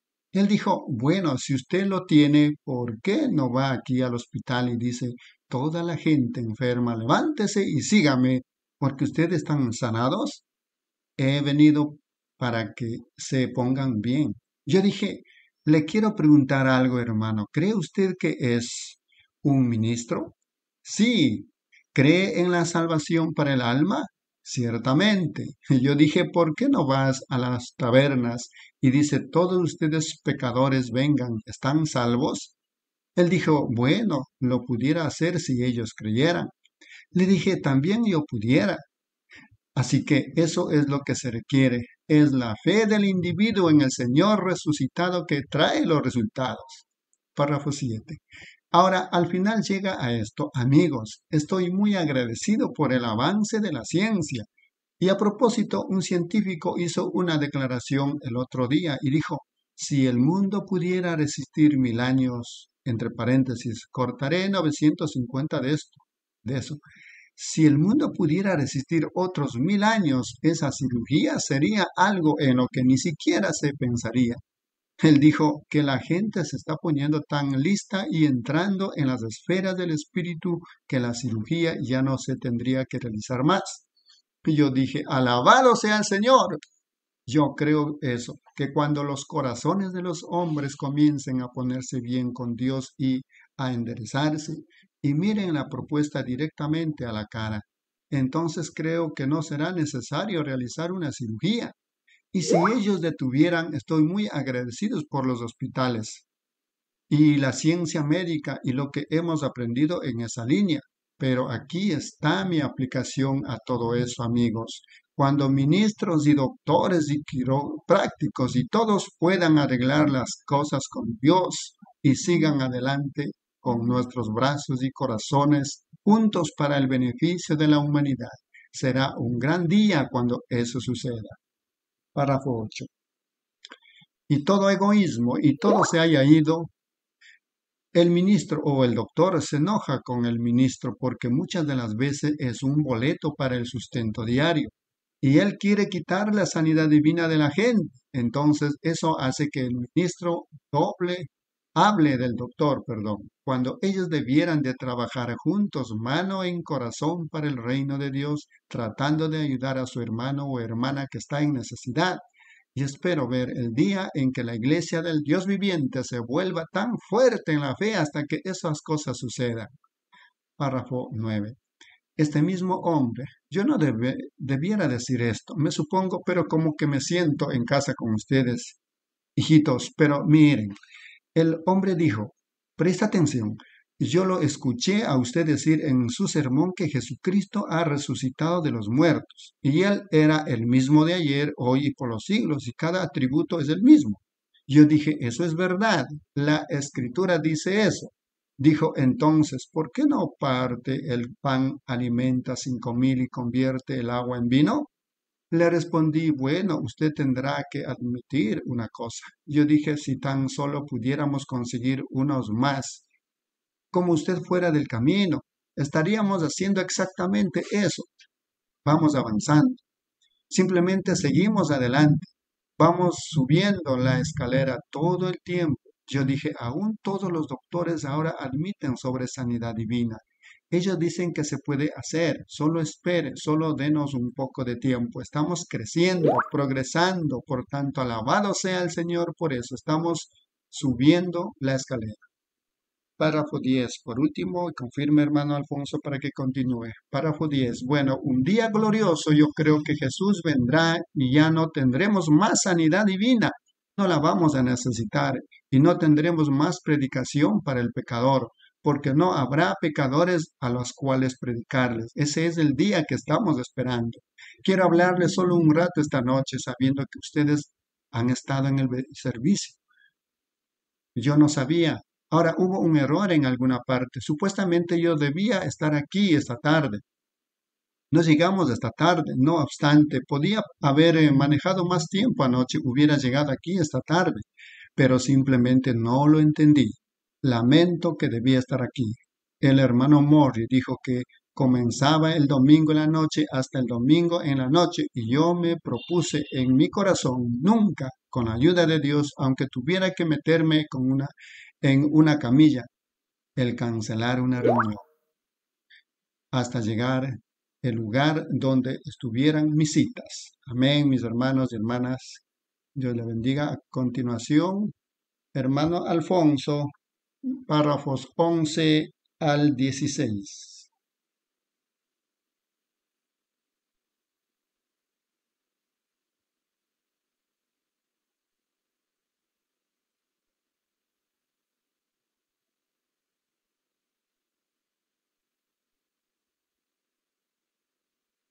Confirme, hermano Alfonso, ¿tiene el mensaje o si no para continuar? Eh, no, hermano, no lo tengo. Afirmativo, copiado, hermano. Entonces, por favor, hermana Rosalia, continúe de los párrafos del hermano Alfonso 11 al 16. Amén.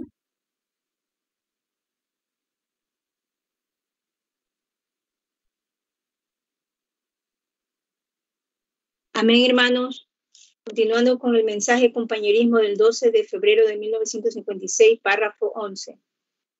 Y acabo de iniciar este año nuevo y el hermano Joseph Bose estará aquí unas cuantas noches si ustedes no han... ¿Cuántos reciben ese heraldo de la fe? Es así como se llama Heraldo de la Fe, el periódico del hermano Bose. ¿Leyeron la visión? ¿Cuántos leyeron la visión? Eso está bien. Bueno, él va a estar aquí en unas cuantas noches y yo hablaré un poco más sobre eso. Una de las cosas más grandes que creo, una de las cosas más sobresalientes que me ha pasado en mis días sirviendo al Señor fue eso. Los mejores días de todos están justo delante de mí. Recuerden eso. Párrafo 12. Y yo creo que este 1956 es un tiempo de plantar.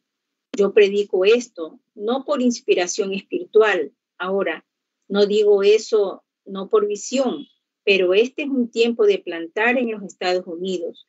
O ellos lo aceptarán este año o serán rechazados. Miren, de todos modos, solo hay una cantidad limitada de peces para pescar. Y cuando el estanque esté completamente seco, no servirá, no servirá de nada seguir aventando la red. Entonces habrá un tiempo.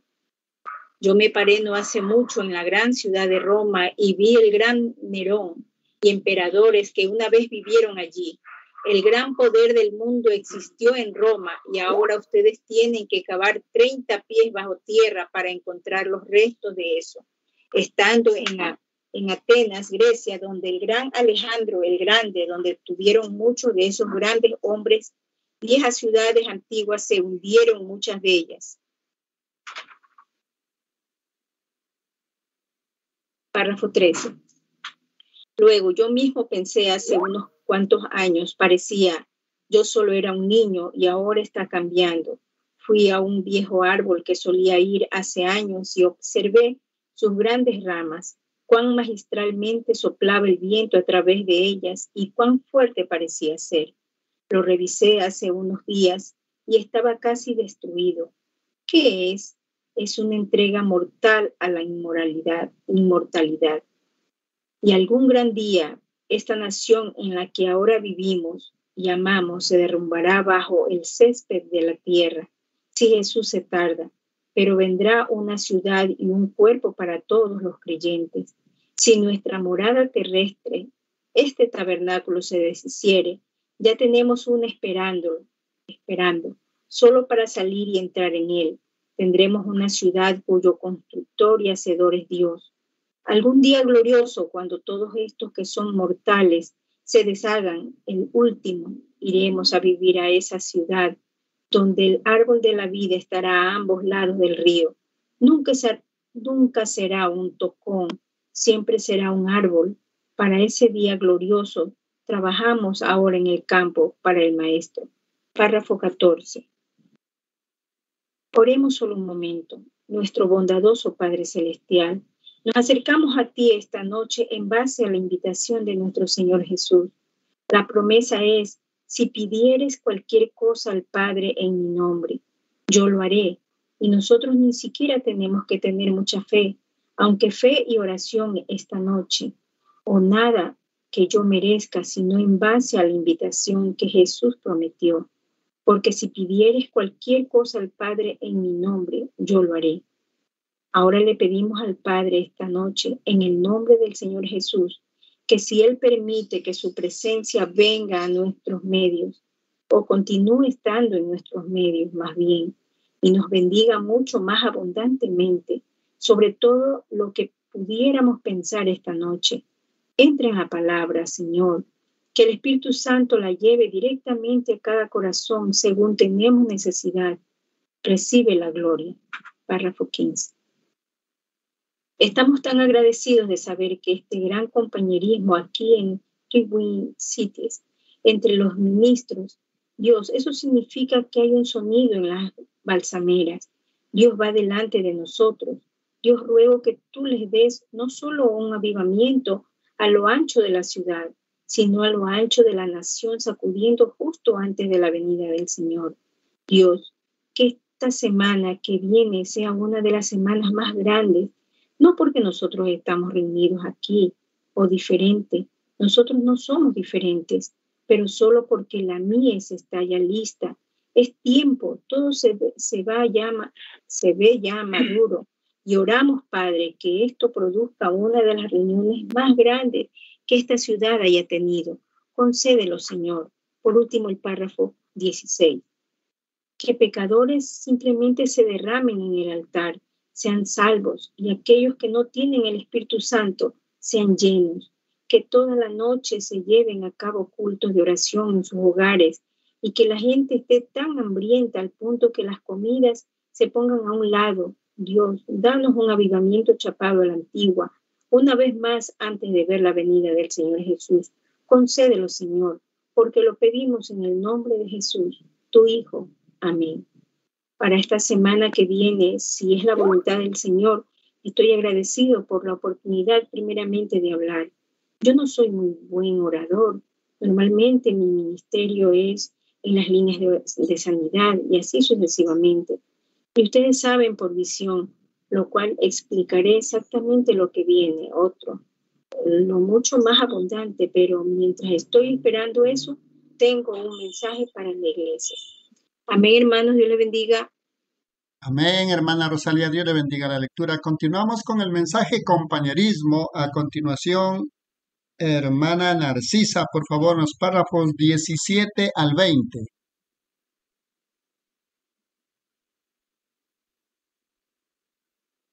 Dios los bendiga, hermanas y hermanos. Continuamos con el mensaje compañerismo.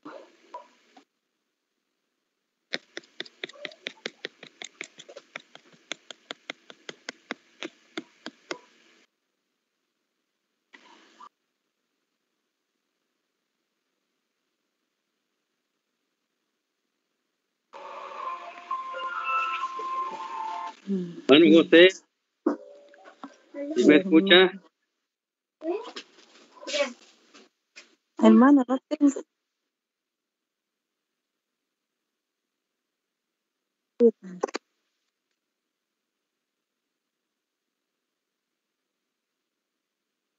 Dios le bendiga.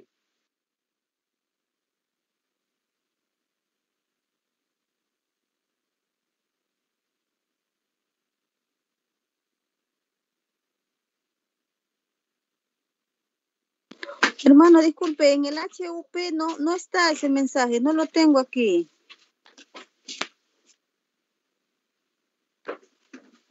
No, no lo encuentro aquí en el HUP.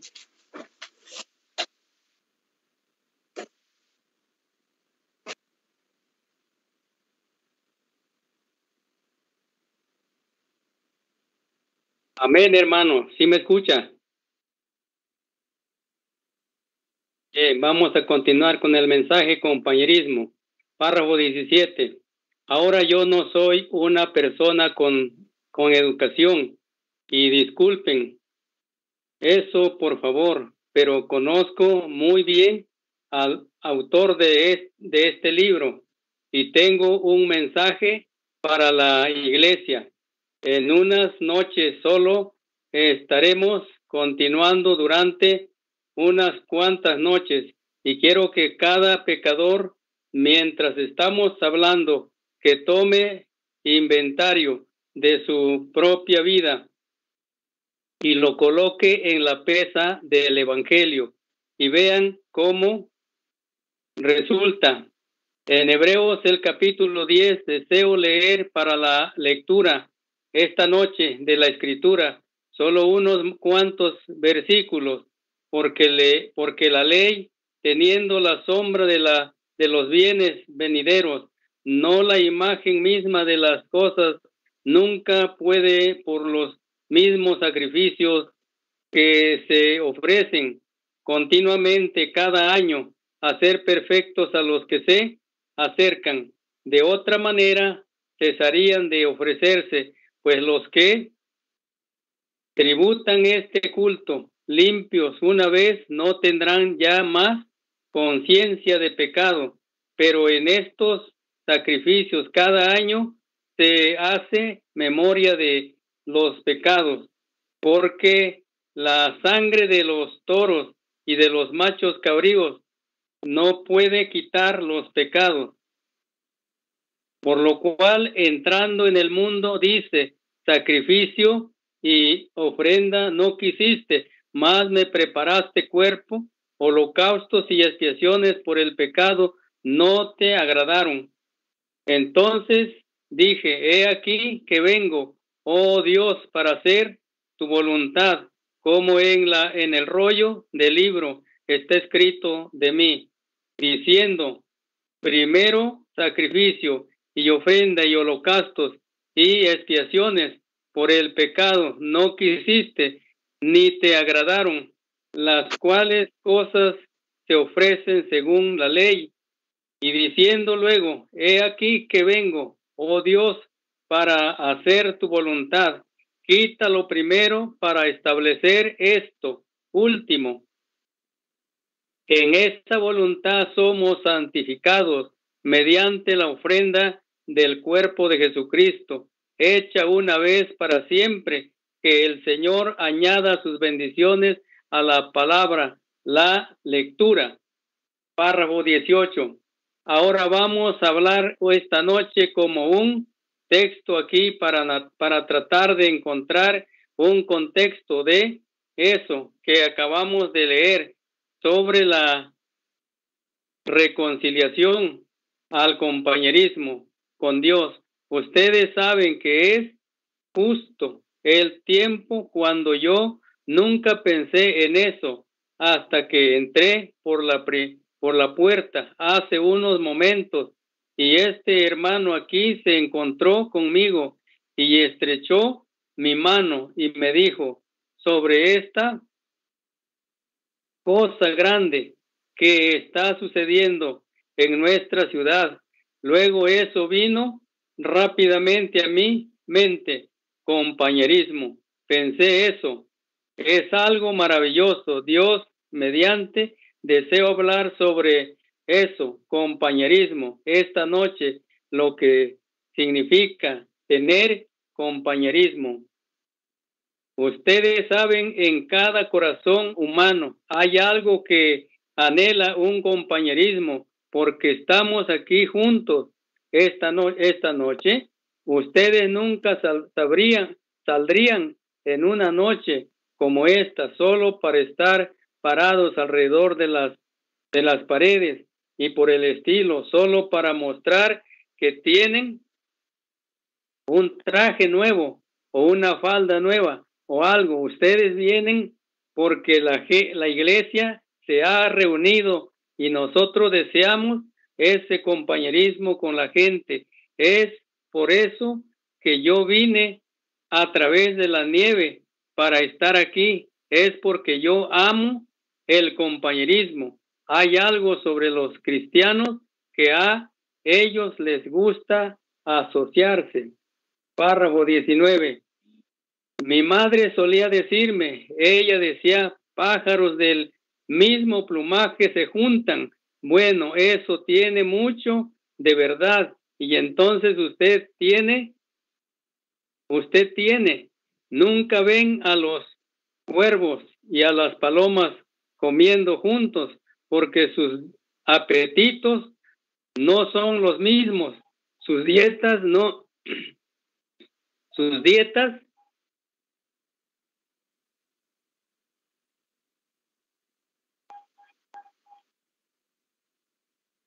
porque sus dietas, dietas no pueden ser las mismas, su conversación no es la misma y también lo es el hombre que está fuera del compañerismo de Dios, no tiene más, no desea ir a la iglesia o hacer lo correcto y aquellos que están con Dios anhelan ese compañerismo. Él simplemente no puede soportarlo. Aquí hace un tiempo, cuando yo estaba pastoreando la iglesia bautista, estaba bajando un poste, siendo que siempre trabajé para ganar mi sustento y estaba trabajando en el servicio público y estaba bajando del poste después de leer un, un de leer un medidor y llevando unos unos artefactos de iluminación, allá unas cosas para arreglar las luces, más bien de un lugar a otro, y al ir bajando un ministro de otra iglesia prominente dijo, Billy, ¿sabes lo que sucedió? Yo dije, no. Párrafo 20.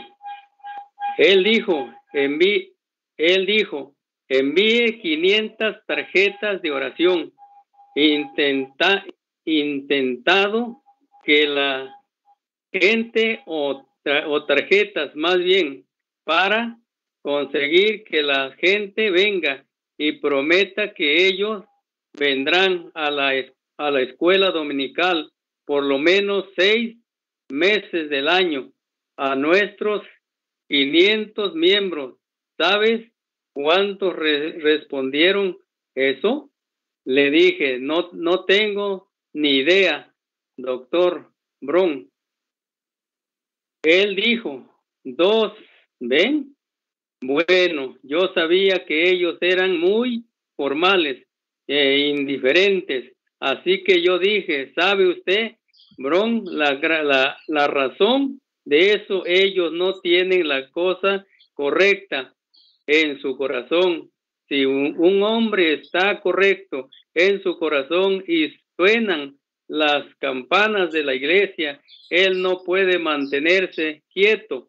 Él solo, él tiene que ir. Eso es todo. Es vida o muerte para él. Él se tiene que mover.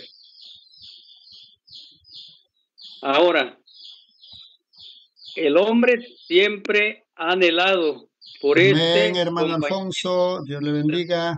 Hasta el 20 nomás era. Dios le bendiga, Hola, hermano. Alfonso.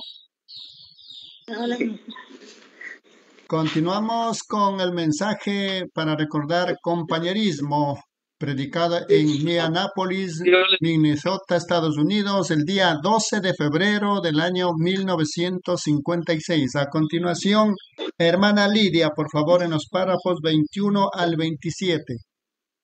Dios le bendiga, hermanos y hermanas, continuando con el mensaje compañerismo del 12 de febrero del 56, párrafo 21. Ahora, el hombre siempre ha anhelado por este compañerismo y la razón por la que él, hizo- él lo hizo, ¿alguna vez se detuvo a pensar qué hace que la gente anhele esto? ¿Qué hace que hombres y mujeres anhelen asociarse uno con el otro? Y cuando usted se convierte en un en cristiano, ¿cómo anhela usted entrar en la presencia de Dios? No hay persona aquí que haya tenido una experiencia con Dios, que su gozo más grande en la vida no sea cuando se queda a solas un rato con Dios. Solo suelte amarras y entre en su cámara secreta y cierre la puerta y levante sus manos. Y solo entre en esa comunión. Oh, hay algo al respecto que es maravilloso. Yo tengo que entrar allí entre paréntesis y usted también. Y solo arrodíllese, llore y llore hasta que ya no pueda soportarlo más, solo diciendo, Dios, simplemente ya no puedo soportarlo. 22. Recuerdo al pequeño José, mi niñito. ¿Saben en dónde él me fue prometido? Aquí mismo en Minneapolis, hasta unos seis años antes de que él naciera. Yo estaba por aquí un día leyendo José en la Biblia y vi que hombre tan perfecto era él. Teníamos una niñita en ese momento. Había pasado cuatro años antes de que ella llegara y fue una cesárea. Luego había pasado aproximadamente cuatro años otra vez. Ellos dijeron que no pensaban que ella fuera, que la esposa fuera a tener otro niño. Y yo entré y estaba llorando y gozo simplemente derramándose. Yo estaba en el armario donde tenía mi ropa colgado, por aquí en el hotel. Estábamos llevando a cabo, a cabo la reunión de carpa por aquí y yo solo estaba llorando y algo como una voz me habló y dijo, vas a tener un hijo, ponle el nombre José. 23. Bueno, salí eufórico y feliz y empiezo a contárselo a todo el mundo y unos tres o cuatro meses después la madre supo que volvería a ser madre. Algunos de ellos dijeron, ¿es este José? Yo dije, no lo sé. Entonces cuando nació, fue una niña. Entonces todos se rieron, dijeron, yo pensaba que el Señor nunca te decía nada errado. Yo dije, Él nunca lo hace. José estará aquí. No se preocupen. Pasaron años. Él siempre cumple su promesa. ¿No creen ustedes eso? Así que podemos amarle a Él y poner nuestra confianza porque Él es fiel quien lo prometió. Noten, pasaron años, pasaron de nueve, cuatro años o más. No hay señal, ya no más. Y un día nos enteramos de que volvería a ser madre. Algunos dijeron, ¿este José? Yo dije, no lo sé, pero dije, él va a estar aquí. Y así que entonces cuando él nació, vino la enfermera, había un grupo de hombres sentados allí en la habitación. Ella dijo, reverenda Urana. Yo dije, sí señora. Ella dijo, usted tiene un buen niño de 7 libras y 3 onzas, entre corchete de 3.260 kilogramos. Yo dije, José ha tardado mucho tiempo en venir, hijo, pero sí que me alegra que estés aquí. Así que eso es. Ella dijo, ¿por qué lo llamó José? Le dije, ese es su nombre, ese es su nombre, José. 24. Luego, durante ese tiempo de compañerismo y comunión, de esa manera en que Dios me habló, de esa manera es como queremos entrar en el espíritu de eso. ¿Les gusta orar hasta entrar en el espíritu? De esa manera pueden hacerlo apártense de todo el resto del mundo y quédense a solas con Dios. Y la razón por la que les gusta hacer eso, porque cuando la primera pareja vino a la tierra, Adán y Eva, eso es lo que ellos hicieron. En la frescura de la tarde, ellos Ellos venían de los viñedos y se metían debajo de los árboles. La gran catedral, como fue, y a medida que el sol quizás comenzaba a ocultarse, mandando sus rayos por los arbustos, yo bajaba en la frescura de la tarde y tenía compañerismo con Adán y Eva. Oh, vaya, eso baja directamente sabiendo que cuando ustedes entran en contacto con Dios y el hombre, cuando usted entra en, en contacto con su amigo y Dios es su amigo, así que usted ama tener comunión con Él y hablar con Él. 25. Ahora, desde que el pecado rompió ese compañerismo, el hombre ha sido sacudido con todo viento de doctrina y todavía es sacudido él fue sacado del huerto del Edén para conducirse él mismo y entonces desde ese gran tiempo, Él todavía está siendo sacudido. Dios preparó algo para que los hombres sean restaurados de vuelta a ese compañerismo. O ninguna otra cosa que nosotros hemos intentado, Él le ofreció a la raza humana la sangre era el camino de regreso al compañerismo. Dios mató unos animales y tomó sus pieles, derramó la sangre inocente del animal y trajo la piel y envolvió a Adán y a Eva con eso y tuvo compañerismo con ellos otra vez. Después del derramamiento de la sangre. Esta es la manera de Dios, era la manera de Dios siempre será la manera correcta para tener compañerismo a través de la sangre. reconciliación, trayendo al creyente de nuevo el contacto con su Hacedor. Nosotros hemos tratado de educar a la gente a ello, nunca funcionará.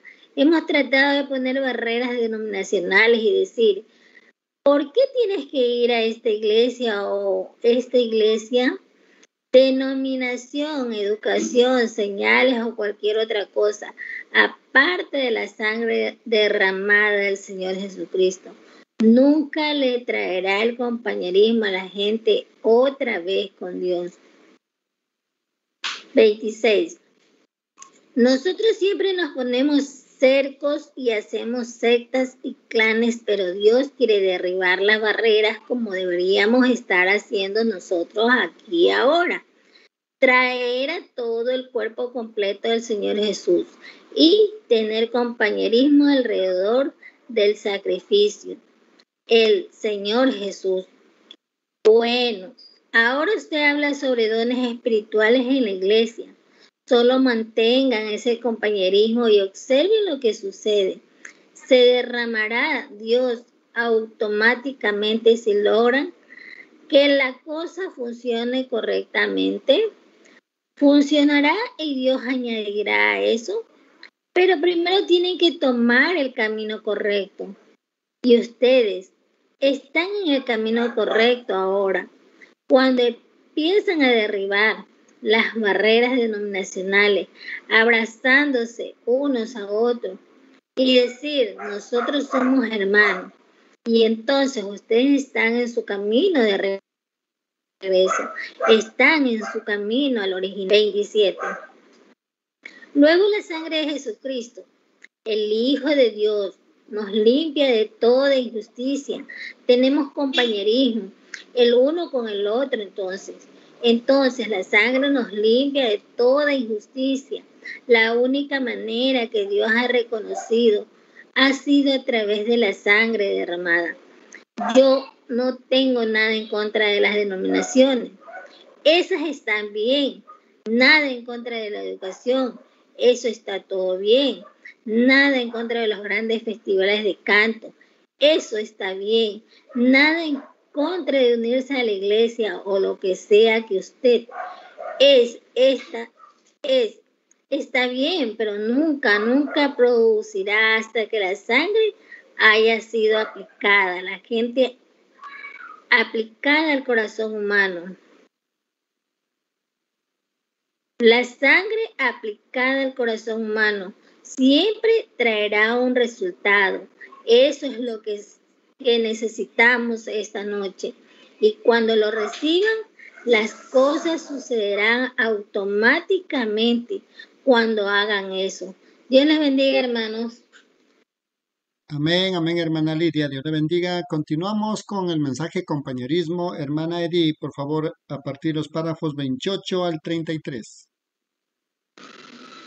Dios le bendiga, hermanos y hermanas. Continuando con la lectura del mensaje compañerismo el 12 de febrero de 1956, párrafo 28.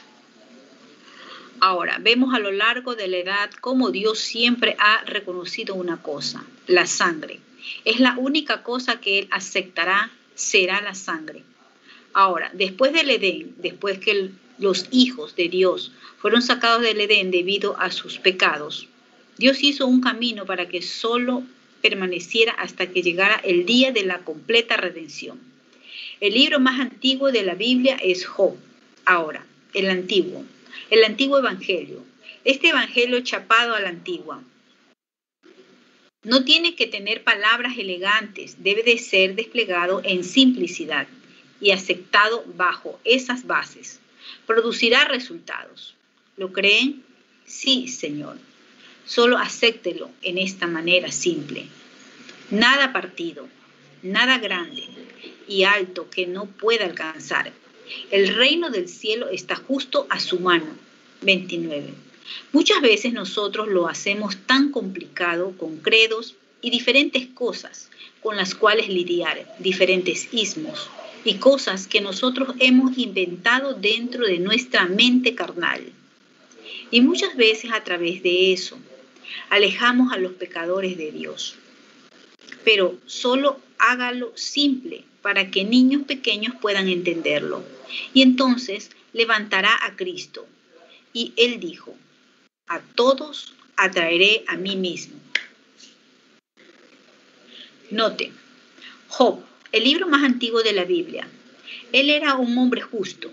Dios dijo que no había ninguno como él en la tierra. Y luego él se metió en problemas y Dios soltó a Satanás contra él. ¿Se fijaron cómo es que Dios tuvo que hacerlo primero? Hace un tiempo me quedé sorprendido al estar parado en un país del este, un país oriental, y escuché esta escritura de San Juan el capítulo 5, donde Jesús dijo, yo soy la puerta del redil. Siempre me preguntaba cómo podía ser eso, que Jesús, un hombre, pudiera ser una puerta para el redil. No podía entenderlo hasta que entré en el país y vi lo que realmente era eso. 30. Es asombroso ver cómo la Biblia cambia cuando uno entra en la tierra donde fue escrita y ver cómo nuestra interpretación del oeste de eso es muchas veces contraria a las tradiciones del este. Cómo ellos lo hicieron. El pastor tiene un rebaño y él guía a sus ovejas allí adentro. Y después que las ovejas están adentro, él se acuesta en la puerta. Por lo tanto, ninguna oveja puede salir o ningún lobo puede entrar a menos que pase sobre el pastor. Piénselo, que a salvo está usted. Hace unas noches me desperté y tenía un sermón en mi corazón sobre el descanso no tenía una audiencia, así que tuve la audiencia de una sola mujer, mi esposa. La desperté. Yo dije, querida, simplemente tengo que predicarte un minuto. Lo hice durante tres horas. Oh, descanso. 31. La experiencia cristiana se basa solemne y totalmente en el descanso. Venid a mí, todos los que estáis trabajados y cargados, y yo os haré descansar. Ustedes son sacudidos con todo hasta que vienen a Cristo. Entonces todo está terminado. Descansando en Cristo, paz perfecta.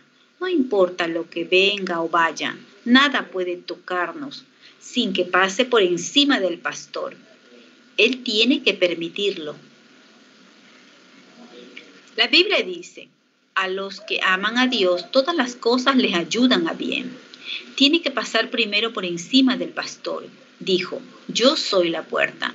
Ningún hombre puede venir a mí excepto. Déjeme decirle que cuando Dios permite algo, está obrando para bien.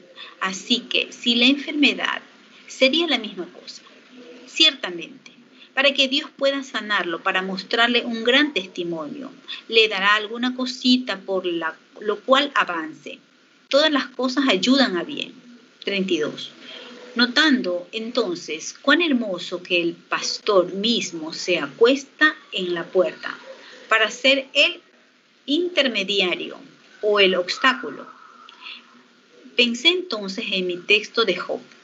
¿Cómo es que Job fue probado y examinado?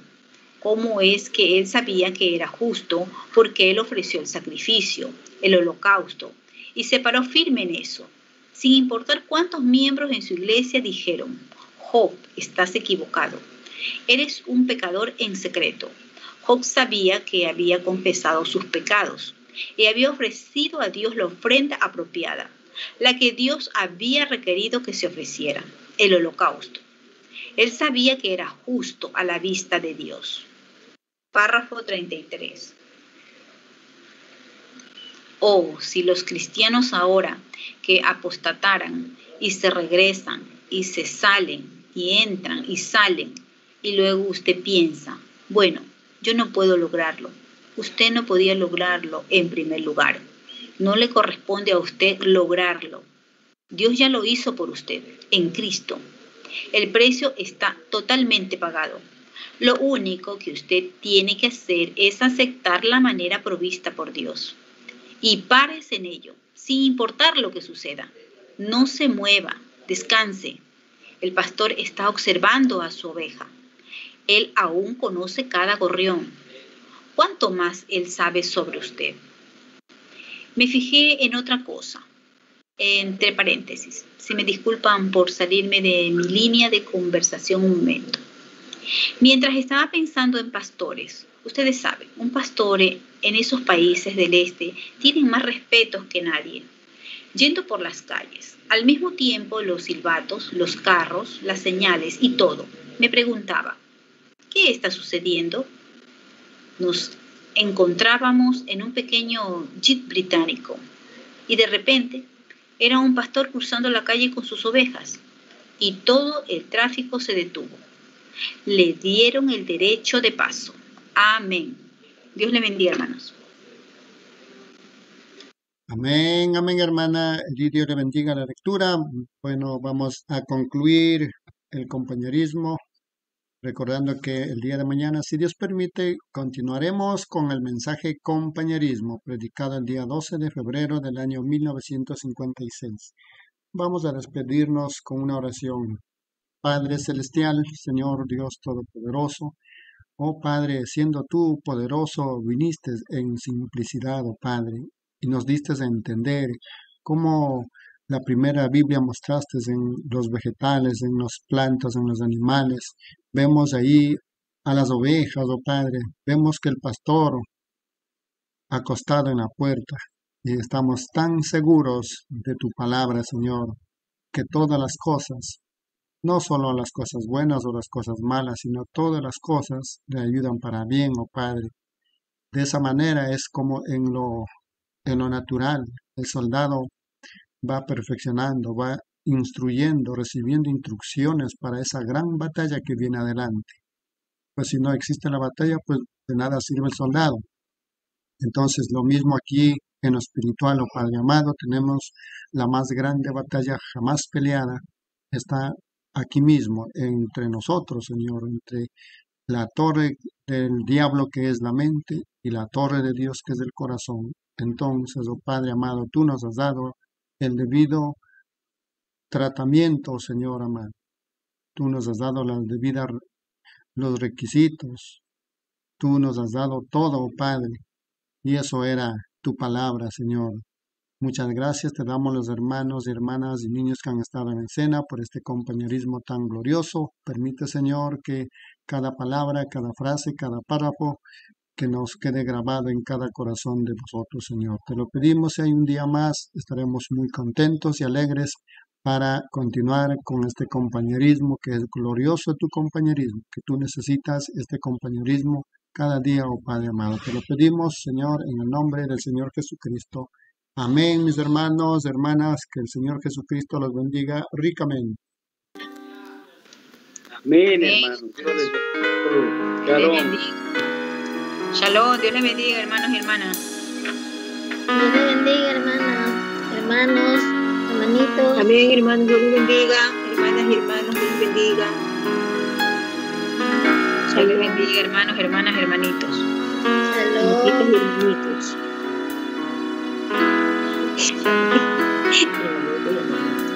Chiquitos y grandotes.